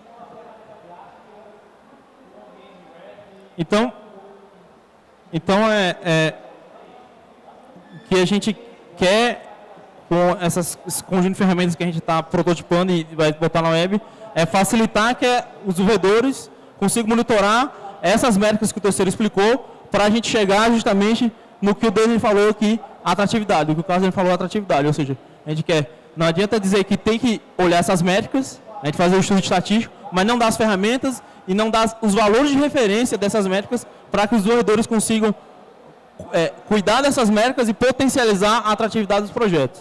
Tá? Então agora a gente vai entrar numa parte mais hacker da, no, da nossa palestra, que o João e a Luciana vão explicar justamente analiso, como é que calcula, problemas que a gente encontrou com analiso e como a gente está construindo novos parceiros lá na USP, novos extratores dessas informações do código. Né?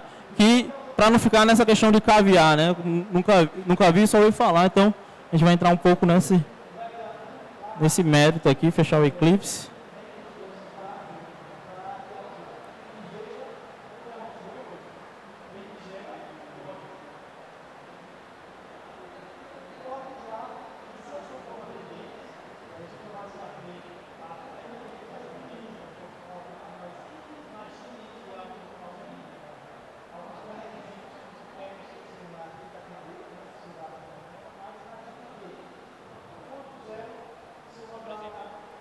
Alô, alô, alô. Dá pra escutar? Dá pra escutar? Tá. Então, eu sou o João, essa é a Luciana. A gente vai falar um pouquinho sobre a Analiso e uma nova ferramenta que a gente está fazendo para calcular essas métricas.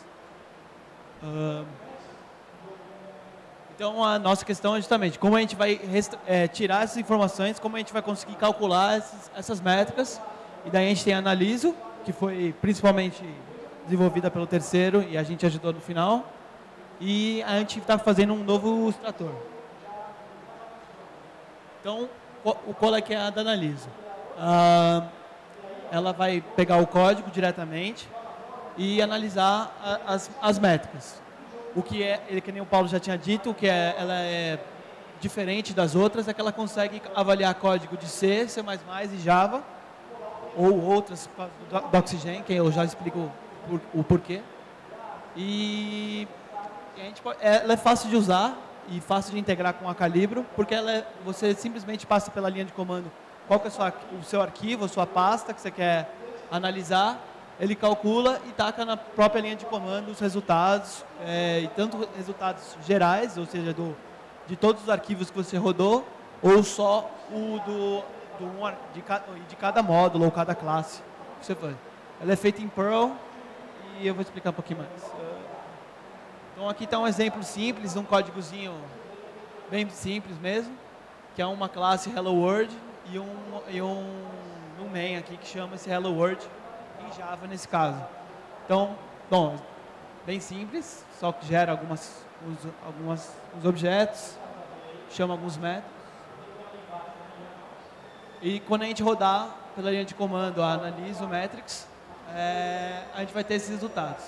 Então, por exemplo, lá no canto, a gente tem os resultados gerais, que vai calcular aqueles, aquelas métricas, quer dizer, tem o resultado de todas aquelas métricas é, para os dois módulos juntos, ou seja, para aquele projeto todo. E enquanto isso tem para o módulo Hello World, é, no caso em Java uma classe, e, e o do main aqui também do lado. Então tem todas aquelas métricas que a Calibro estava mostrando. Então, o que a Calibro faz, na verdade, é ela pega essas métricas e ela exibe. Então, é, funcionamento, é por isso que o Paulo falou que a gente poderia trocar simplesmente a, a, a ferramenta de métricas, porque, por causa disso. Se você fizer uma ferramenta que taca os resultados do mesmo jeito, a Calibro processa, só basta e ela exibe tudo. É, aqui está um pouco da estrutura, de como funciona a análise. Daí, que nem eu falei, ela pega direto só o, o código fonte, daí ela passa para o Doxygen. Não sei se vocês conhecem o Doxygen, ela é uma ferramenta principalmente para documentação é, do, do, código. Então você coloca lá uns, uns, comentários, algumas coisas, e ele parceia todo o código, olha tudo e gera uma documentação. É, daí, o Doxygen é o grande responsável por é, conseguir analisar várias linguagens. Então, se você fizer um projeto em Java, fizer os comentários do mesmo jeito que é o padrão do Oxygen, ele vai, vai fazer a documentação e, no nosso caso, ele vai pegar as informações. É, Java, C, C++, inclusive eu acho que tem outros, mas a gente tem que olhar melhor. Daí, em seguida, o DoxyParse, ele usa o Doxygen, ou seja, o Doxygen parceia e o, e o DoxyParse simplesmente pega das estruturas de dados dele vai lá e é, pega as, informações que ele quer, como as, quais classes foram definidas, quais foram os métodos, os atributos, e reporta de uma maneira que também vou mostrar daqui a pouco. E depois a Analiso pega essas, esses resultados e calcula as métricas e exibe. Então, o, o que o DoxyParse faz, que nem eu tinha falado, ele usa essas, ele pega as estruturas de dados do Doxygen e então aqui tem um outro exemplo qualquer, que é, tem um, um, um main aqui que chama o, o cachorro, o tem, o, tem o cachorro e o gato também, só coloquei o gato. Tem a classe mamífero, tem a classe animal. Aí você manda rodar a, o doxyparse nessa pasta e ele vai ter esse tipo de saída. Então, por exemplo, o, a, a classe cat, ela vai sair daqui. Ah, só para comentar, esse exemplo é, é em C++, então só para mostrar que ela também funciona. Daí ele é, mostra isso. Então, por exemplo, ó, o módulo cat, ele herda de mamífero. Então, quem nem estava aqui, ali no cantinho, ó lá, class cat, é public, é, herda de public é, mammal. Então, mostra todos esses tipos de informação, as funções que ele define, como name, a, a, o construtor, mostra as, as linhas, a proteção. E é com esse tipo de saída que a analise vai, ela vai pegar esse, e, é, essa saída e começar a calcular as métricas. Então, ah, que a gente estava falando, ah, vai calcular o acoplamento, essas coisas, pega as informações das funções, os módulos e tudo mais.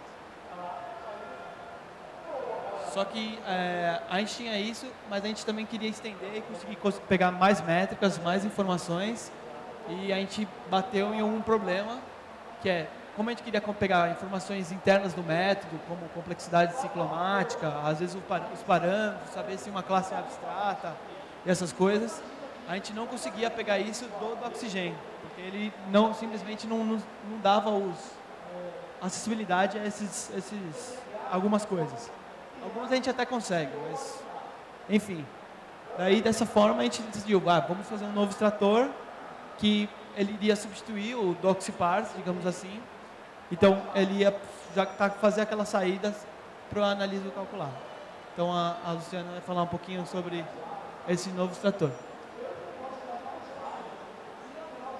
Bom, para a gente fazer o novo extrator, a gente está usando uma ferramenta que chama Antler, que é um gerador de parser e lexer em várias linguagens. Você escolhe a linguagem que você quer usar, que você quer produzir seu código.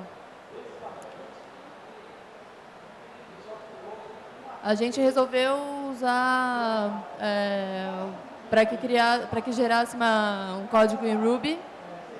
Uh, e a gente está desenvolvendo então uma gramática que é para reconhecer códigos Java. Inicialmente Java, porque a gente está se adaptando à ferramenta Antler, mas assim que a gente terminar essa, a gente vai fazer para C, C++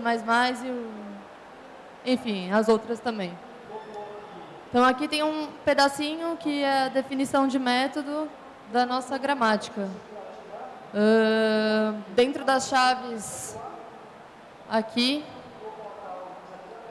é, tem um pouquinho de código Ruby, uh, onde tem ali o, é, o nome do método e a linha em que o método começou.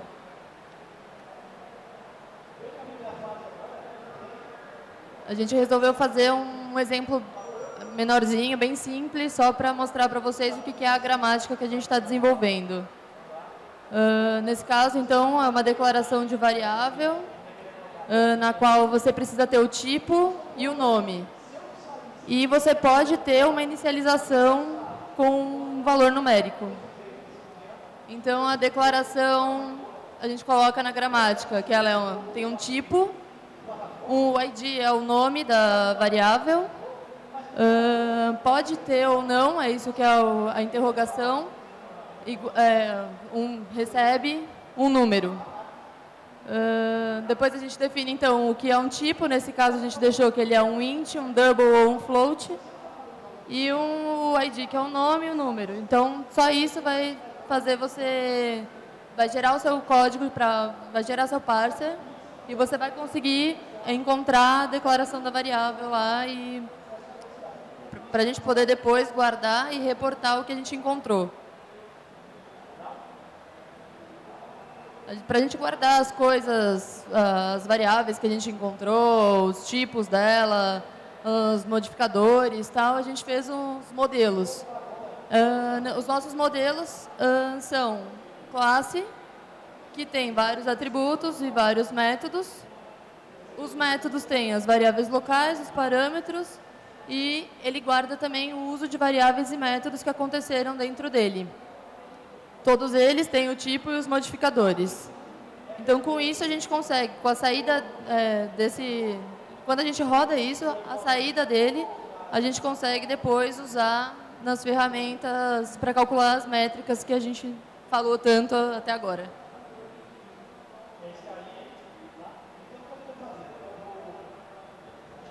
Aqui está o mesmo exemplo que o João mostrou no Hello World. Uh, a gente rodou aquele código ali e esse é o resultado que, que a gente apresenta.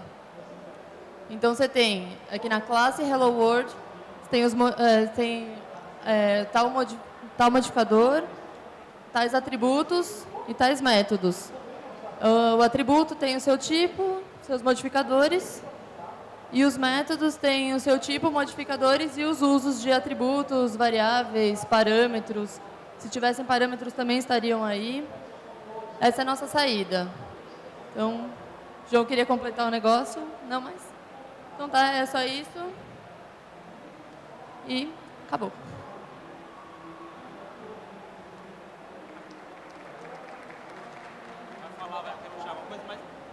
É. O terceiro vai mostrar é, a Analiso, que a gente mostrou antes, o, é, era um software livre é, chamado Egypt, que o cara fez pegando o Doxygen para gerar o, o grafo, né, que representa o que representa o, código fonte. É o terceiro em cima do Egypt é, desenvolveu Analiso, né, e a gente junto com o João com a Luciana a gente evoluiu Analiso. Então a, nessa parte aqui a gente desceu bem o cursor para mostrar como é que a gente está extraindo essas informações, como é que a gente processa para fornecer para uma ferramenta que no alto nível consiga, consiga dar para o desenvolvedor ou quem está interessado nas métricas a, monitorar essas métricas e, e monitorar quais métricas para a gente potencializar a atratividade, ou seja, a gente está chegando de algo lá do código fonte como extrair para a gente chegar lá no usuário para potencializar que o usuário faça o download do nosso código. Aí o, o o terceiro que a MyChain está trabalhando com isso é ele está pesquisando é, que fatores influenciam em determinadas métricas e ele vai comentar isso daí explorando mais o uso da análise. E só para vocês entenderem, o que o, durante essa, esse processo de evolução da análise, quando a gente não quis, quis calcular outras métricas, e por que, que a gente quer calcular outras métricas se a gente já disse que basta, por enquanto, a gente acompanhar a coesão e acoplamento? Porque a gente quer calcular várias métricas para fazer um estudo estatístico que mostra a correlação dessas métricas e provar estatisticamente, cientificamente, diz, ó, você tem aí 100 métricas propostas, mas vamos usar esse conjunto aqui porque tais métricas, tem 10 métricas, 20 métricas são correlacionadas de tal maneira que elas dizem a mesma coisa. Ou seja, também filtrar nesse, nesse arcabouço aí de, de métricas, de análise de código-fonte, que métricas a gente deve usar e por quê, e o que elas significam. Então, por isso que a gente tem que fazer está partindo para fazer um novo extrator, no, nova gramática, novos passos para a gente calcular mais métricas possíveis para achar correlação entre essas dezenas de métricas e chegar num conjunto mínimo e depois replicar os estudos que a gente fez para correlacionar com a atratividade e por aí vai. Então, é todo um ciclo aí que a gente está fazendo e por isso que o João e a Luciana explicaram como é que eles estão construindo esse novo extrator. Bom, é, então, falando um pouco sobre analiso, eu vou abrir de novo aqui a apresentação, tem umas informações ali. Ah, ele vai abrir a porcaria aqui.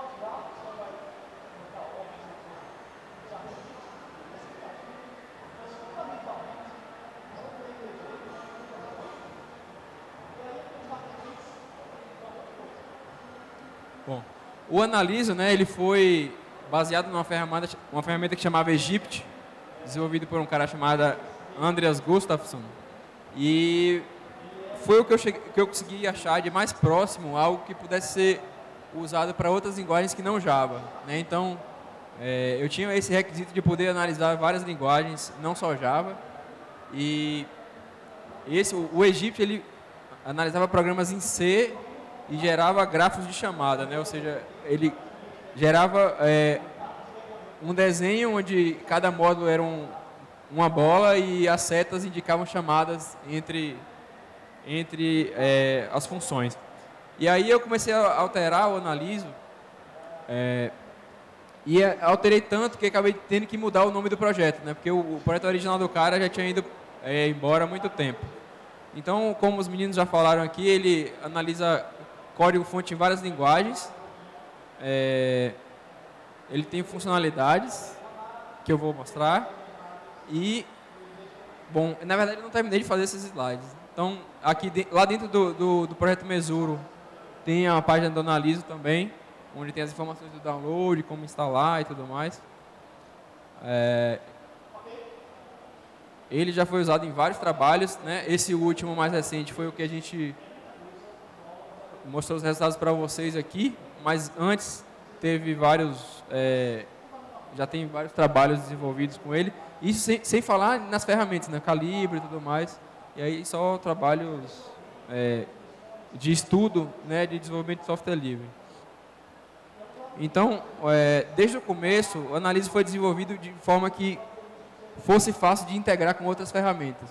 Né? Então, em vez de eu criar é, um monstro eu vou criar uma ferramenta bem simples que pode ser usada como base para outras que vão, vão fornecer visualizações ou análises e tudo mais. Então, o, o analise em si, ele tem o objetivo de extrair as métricas do código-fonte e de... É, e de exibir essas coisas né, de forma que eu possa é, verificar. Bom, é, aqui você tem, eu rodei aqui antes, o Analisa ele tem uma série de ferramentas, né, uma série de componentes, além do, do, núcleo dele que faz o cálculo, ele tem componentes que geram saídas específicas. Tá? Então, é, o componente que o que a Calibro usa, eu analiso metrics, né, que ela é, analisa o, o código-fonte e gera aquela saída de métricas que o pessoal mostrou. Tá? E esse é o, o que a gente tem mais usado. Tá? É, então ele vai rodar aí, vai, vai jogar na saída. Eu acho que eu não vou esperar ele terminar, ou vou. É, bom, aqui então ele gerou né, a saída para todos os módulos.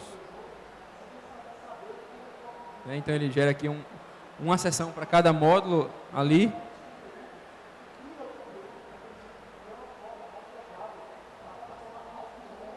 E ele gera também, foi o que eu fiz antes, né, o Analyze Graph é uma outra ferramenta do Analyze que gera uma saída em forma de grafo. Né, então ele vai desenhar os módulos do software e as, e as dependências entre eles. Tá? Então, hum, eu acho que eu até rodei errado aqui. Eu posso escolher em que nível ele vai mostrar as dependências, então ele pode mostrar as dependências no nível de funções dentro do código, ou ele pode colocar as dependências em módulos. Né? A ideia é que no futuro a gente possa também subir um pouco mais o nível e agrupar as dependências em pacote. Então, eu vou conseguir fazer uma, uma análise ainda mais, mais, de alto nível. Tá? Então, é, rodando aqui. Não, a Calibro faz a parte de métricas, mas não faz a parte de dependência. Então, é, é isso. Está rodando aí já?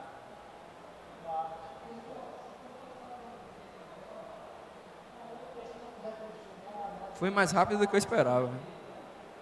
Então, eu, esse arquivo aqui, essa saída, é, ela tá- essa saída é no formato de uma ferramenta chamada GraphVis. Escreve assim, que é uma ferramenta para visualização de dados é, de grafos. Né? Grafos são objetos que têm relações de dependência entre si. Então, ele normalmente você desenha o gráfico como é, os nós, que a gente chama, né, que são os elementos, normalmente são círculos ou pode ser outras formas. E caso haja uma relação entre esses dois nós, tem uma, é, um, um, arco, né, uma linha entre eles dois. Então, o, o Analyze Graph gera a saída nesse formato, de forma que depois eu posso visualizar as dependências.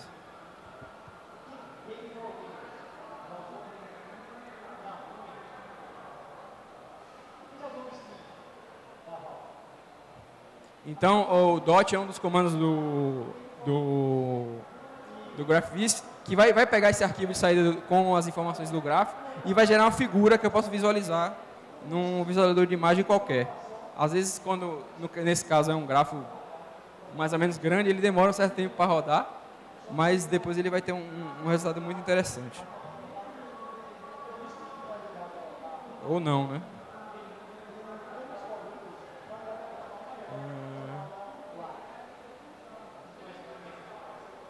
Momento de tensão.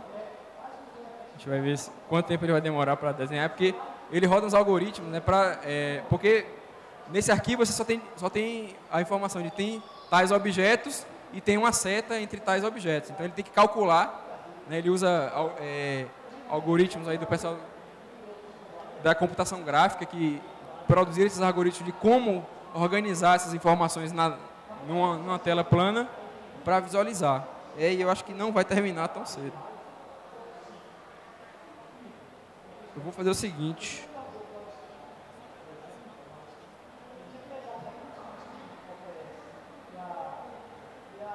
Eu vou cortar uma parte do gráfico e aí ele vai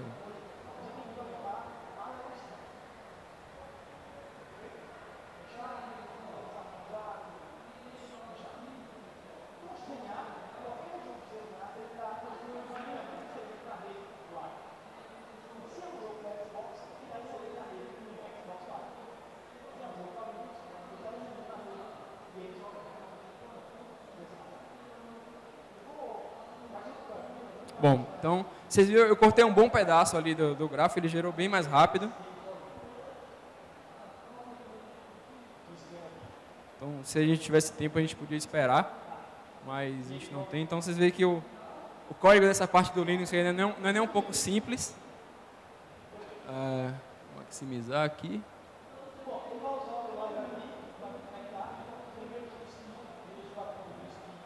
Então, cada traço desse aí é um, é um módulo que usa o outro ou vice-versa. Então você vê que não é um troço muito simples. Né? Então você tem aqui e colocar isso na tela é super complicado, né? Então a ideia no futuro é ter outras formas de visualizar essa informação mais úteis visualmente do que o gráfico. O gráfico é legal quando você tem um código pequeno e pode tem poucos módulos, você consegue ver as relações. Então, por exemplo, você tem o código do, do Analisa aqui?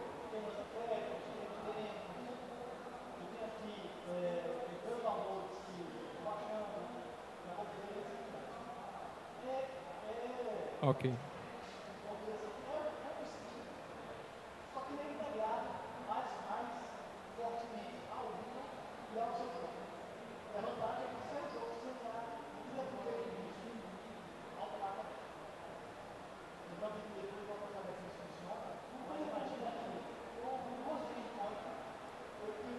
Então, para normalmente para quantidade menor de módulos, você consegue visualizar muito bem, né? Então você tem ali, ele gera o desenho do, do grafo e você consegue ver as informações. E aí, o desafio agora é criar outras formas de, de, de poder entender o que está acontecendo com o código, né? Que, você, que ajuda, a gente vai ajudar a pensar em também novas métricas, né? Ou, outras formas de visualizar essas relações de dependência entre os módulos. Hã?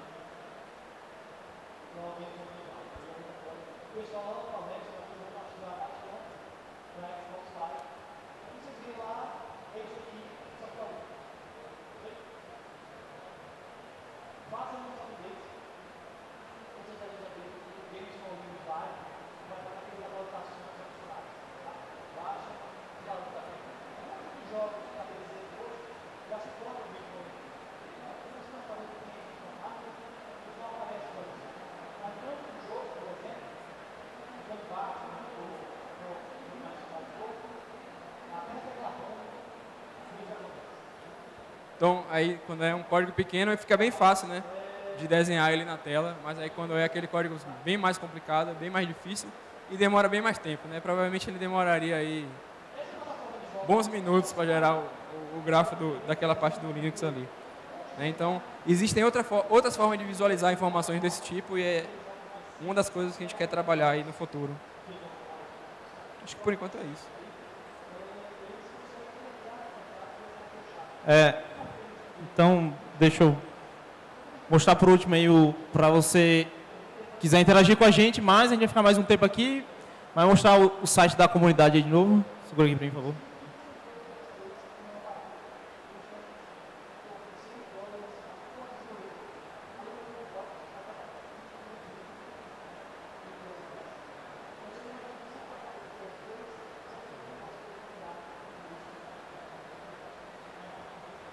Então lá no.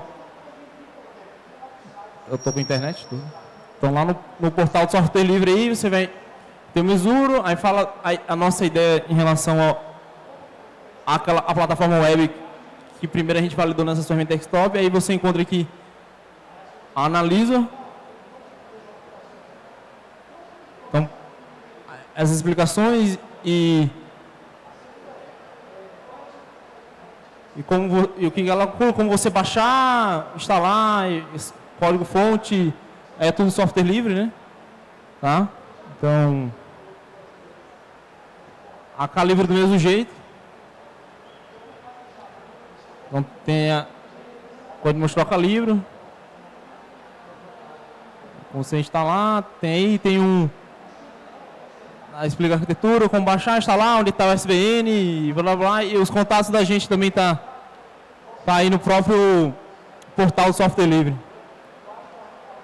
Certo? Então a gente tem mais 15 minutos, a gente vai ficar por aqui. Quem quiser discutir, se aproximar aqui, a gente fica aqui, né? Né? Oi? É, se alguém, alguém quer fazer alguma pergunta e dúvidas, nada, beleza? Quer perguntar aí? Vem aqui.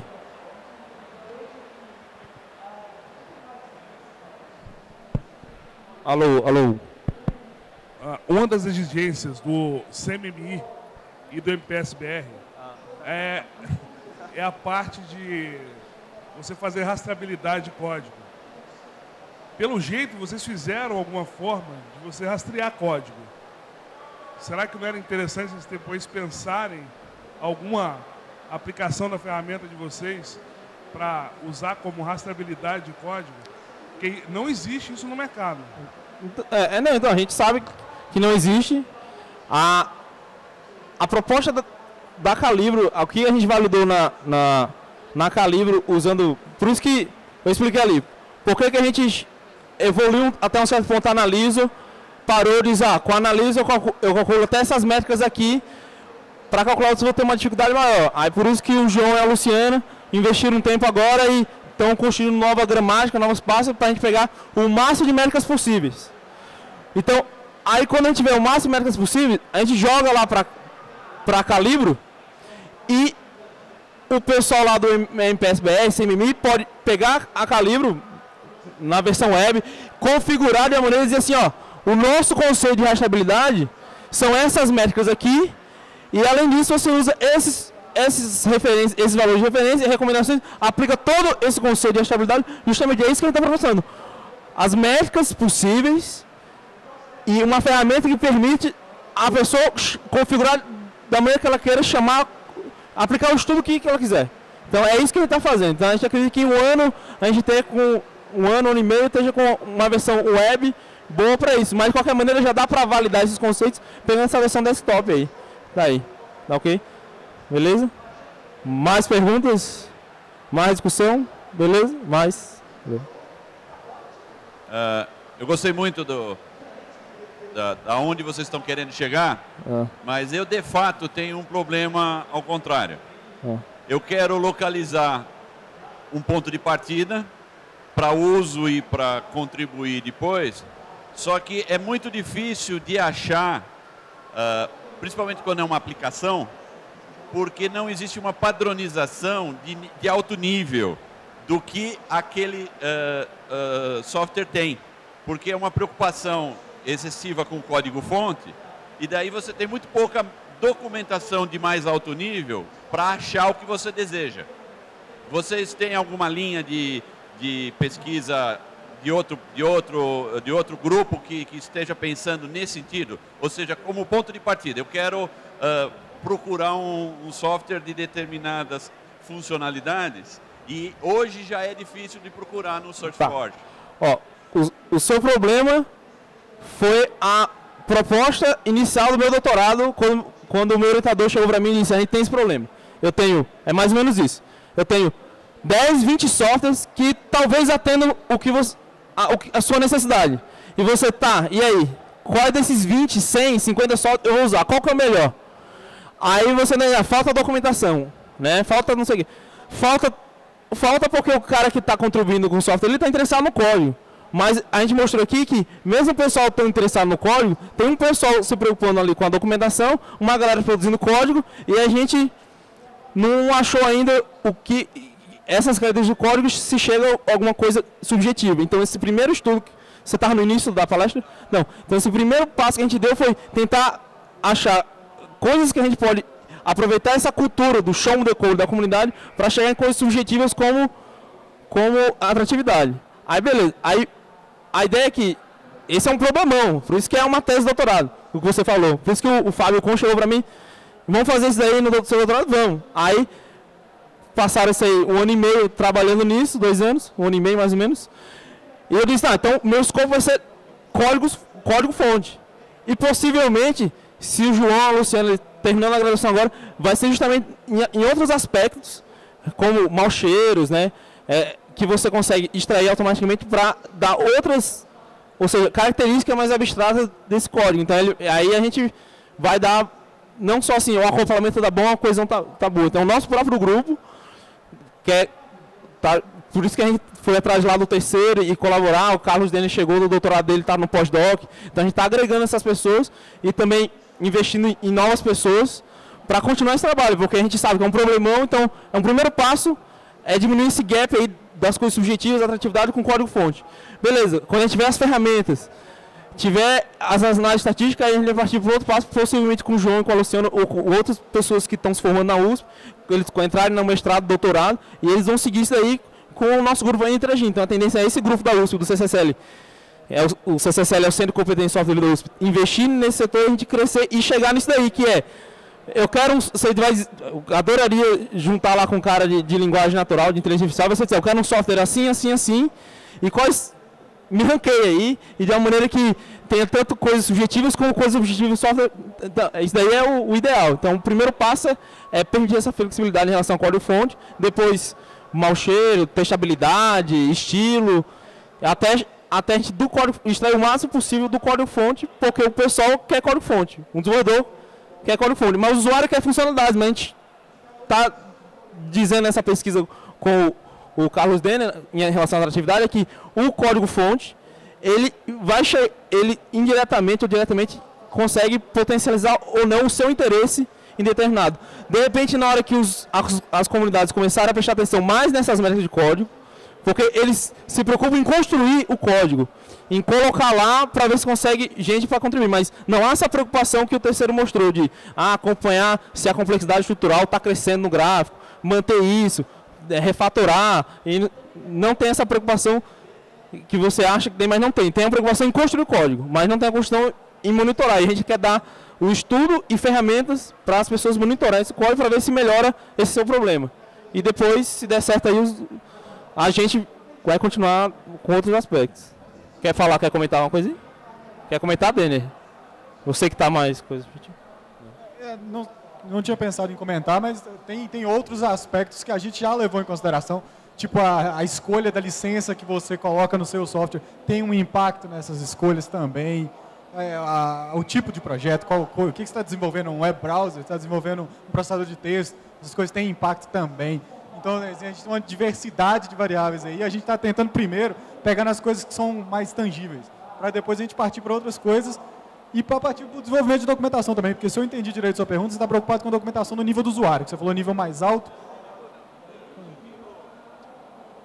é simples. O meu, eu tenho um problema específico.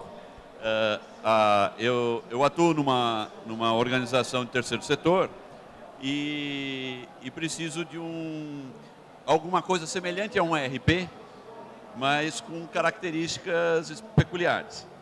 Uh, e uh, procurar um para eu fazer a, a derivação já é difícil. Tem um monte e, e, daí, como que eu vou es escolher aquele que eu, eu sei que não existe o que eu quero? Então eu vou pegar o, o mais próximo e tentar evoluir da, a partir dali. Ou seja, então é um interesse, uh, de certa forma, de usuário, mas de desenvolvedor também. Uh, e daí fica complicado, porque daí eu vou ter que ficar baixando uh, vários pacotes, ficar testando um mês cada um, e daí. E qual que é o que eu escolho? Sim, exato. Maravilha, é isso mesmo. Grande problema, né? E no mais, eu só queria falar que a gente é um grupo em andamento, com várias pesquisas em andamento, é um grupo grande, a gente é só parte dele aqui. Então eu queria encorajar todo mundo a entrar lá no site do CCSL, IME, USP-BR, olhar o site, conhecer os projetos, se envolver, participar, pensar em fazer mestrado, doutorado ou, ou simplesmente colaborar com a gente. A gente adora colaboração. Vai lá conhecer o trabalho da gente. É isso que eu queria deixar o recado final aqui é, bem lembrado, o Daniel falou, então esse é o site do Centro de Competência Software Livre. O, é um, vai ser a primeira universidade assim, do país, e bem que Nacional USP vai ser um prédio lá que estão construindo só para pesquisar software livre e esse tipo de coisa e investir mais, resolver esse tipo de problema. E já tem uma série de projetos que já estão aí no portal disponíveis, e uma, uma também é, os nossos. Então, quiser conhecer mais do CSSL, ou ir lá na URSS, trocar ideia, só entrar aí, entra em contato. Também a gente está mantendo a comunidade lá do Projeto Software Livre.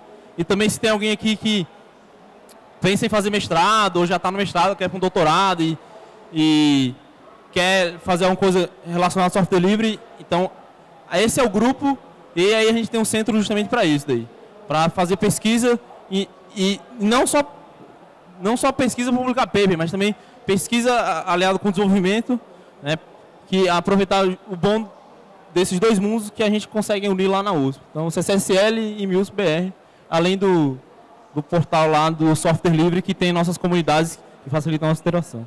Beleza? Quer falar aí? UFBA, contato? Falei. Não? Tá bom? Então pronto, então é isso.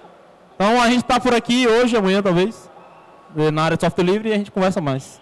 Ok? Obrigado aí. Até mais.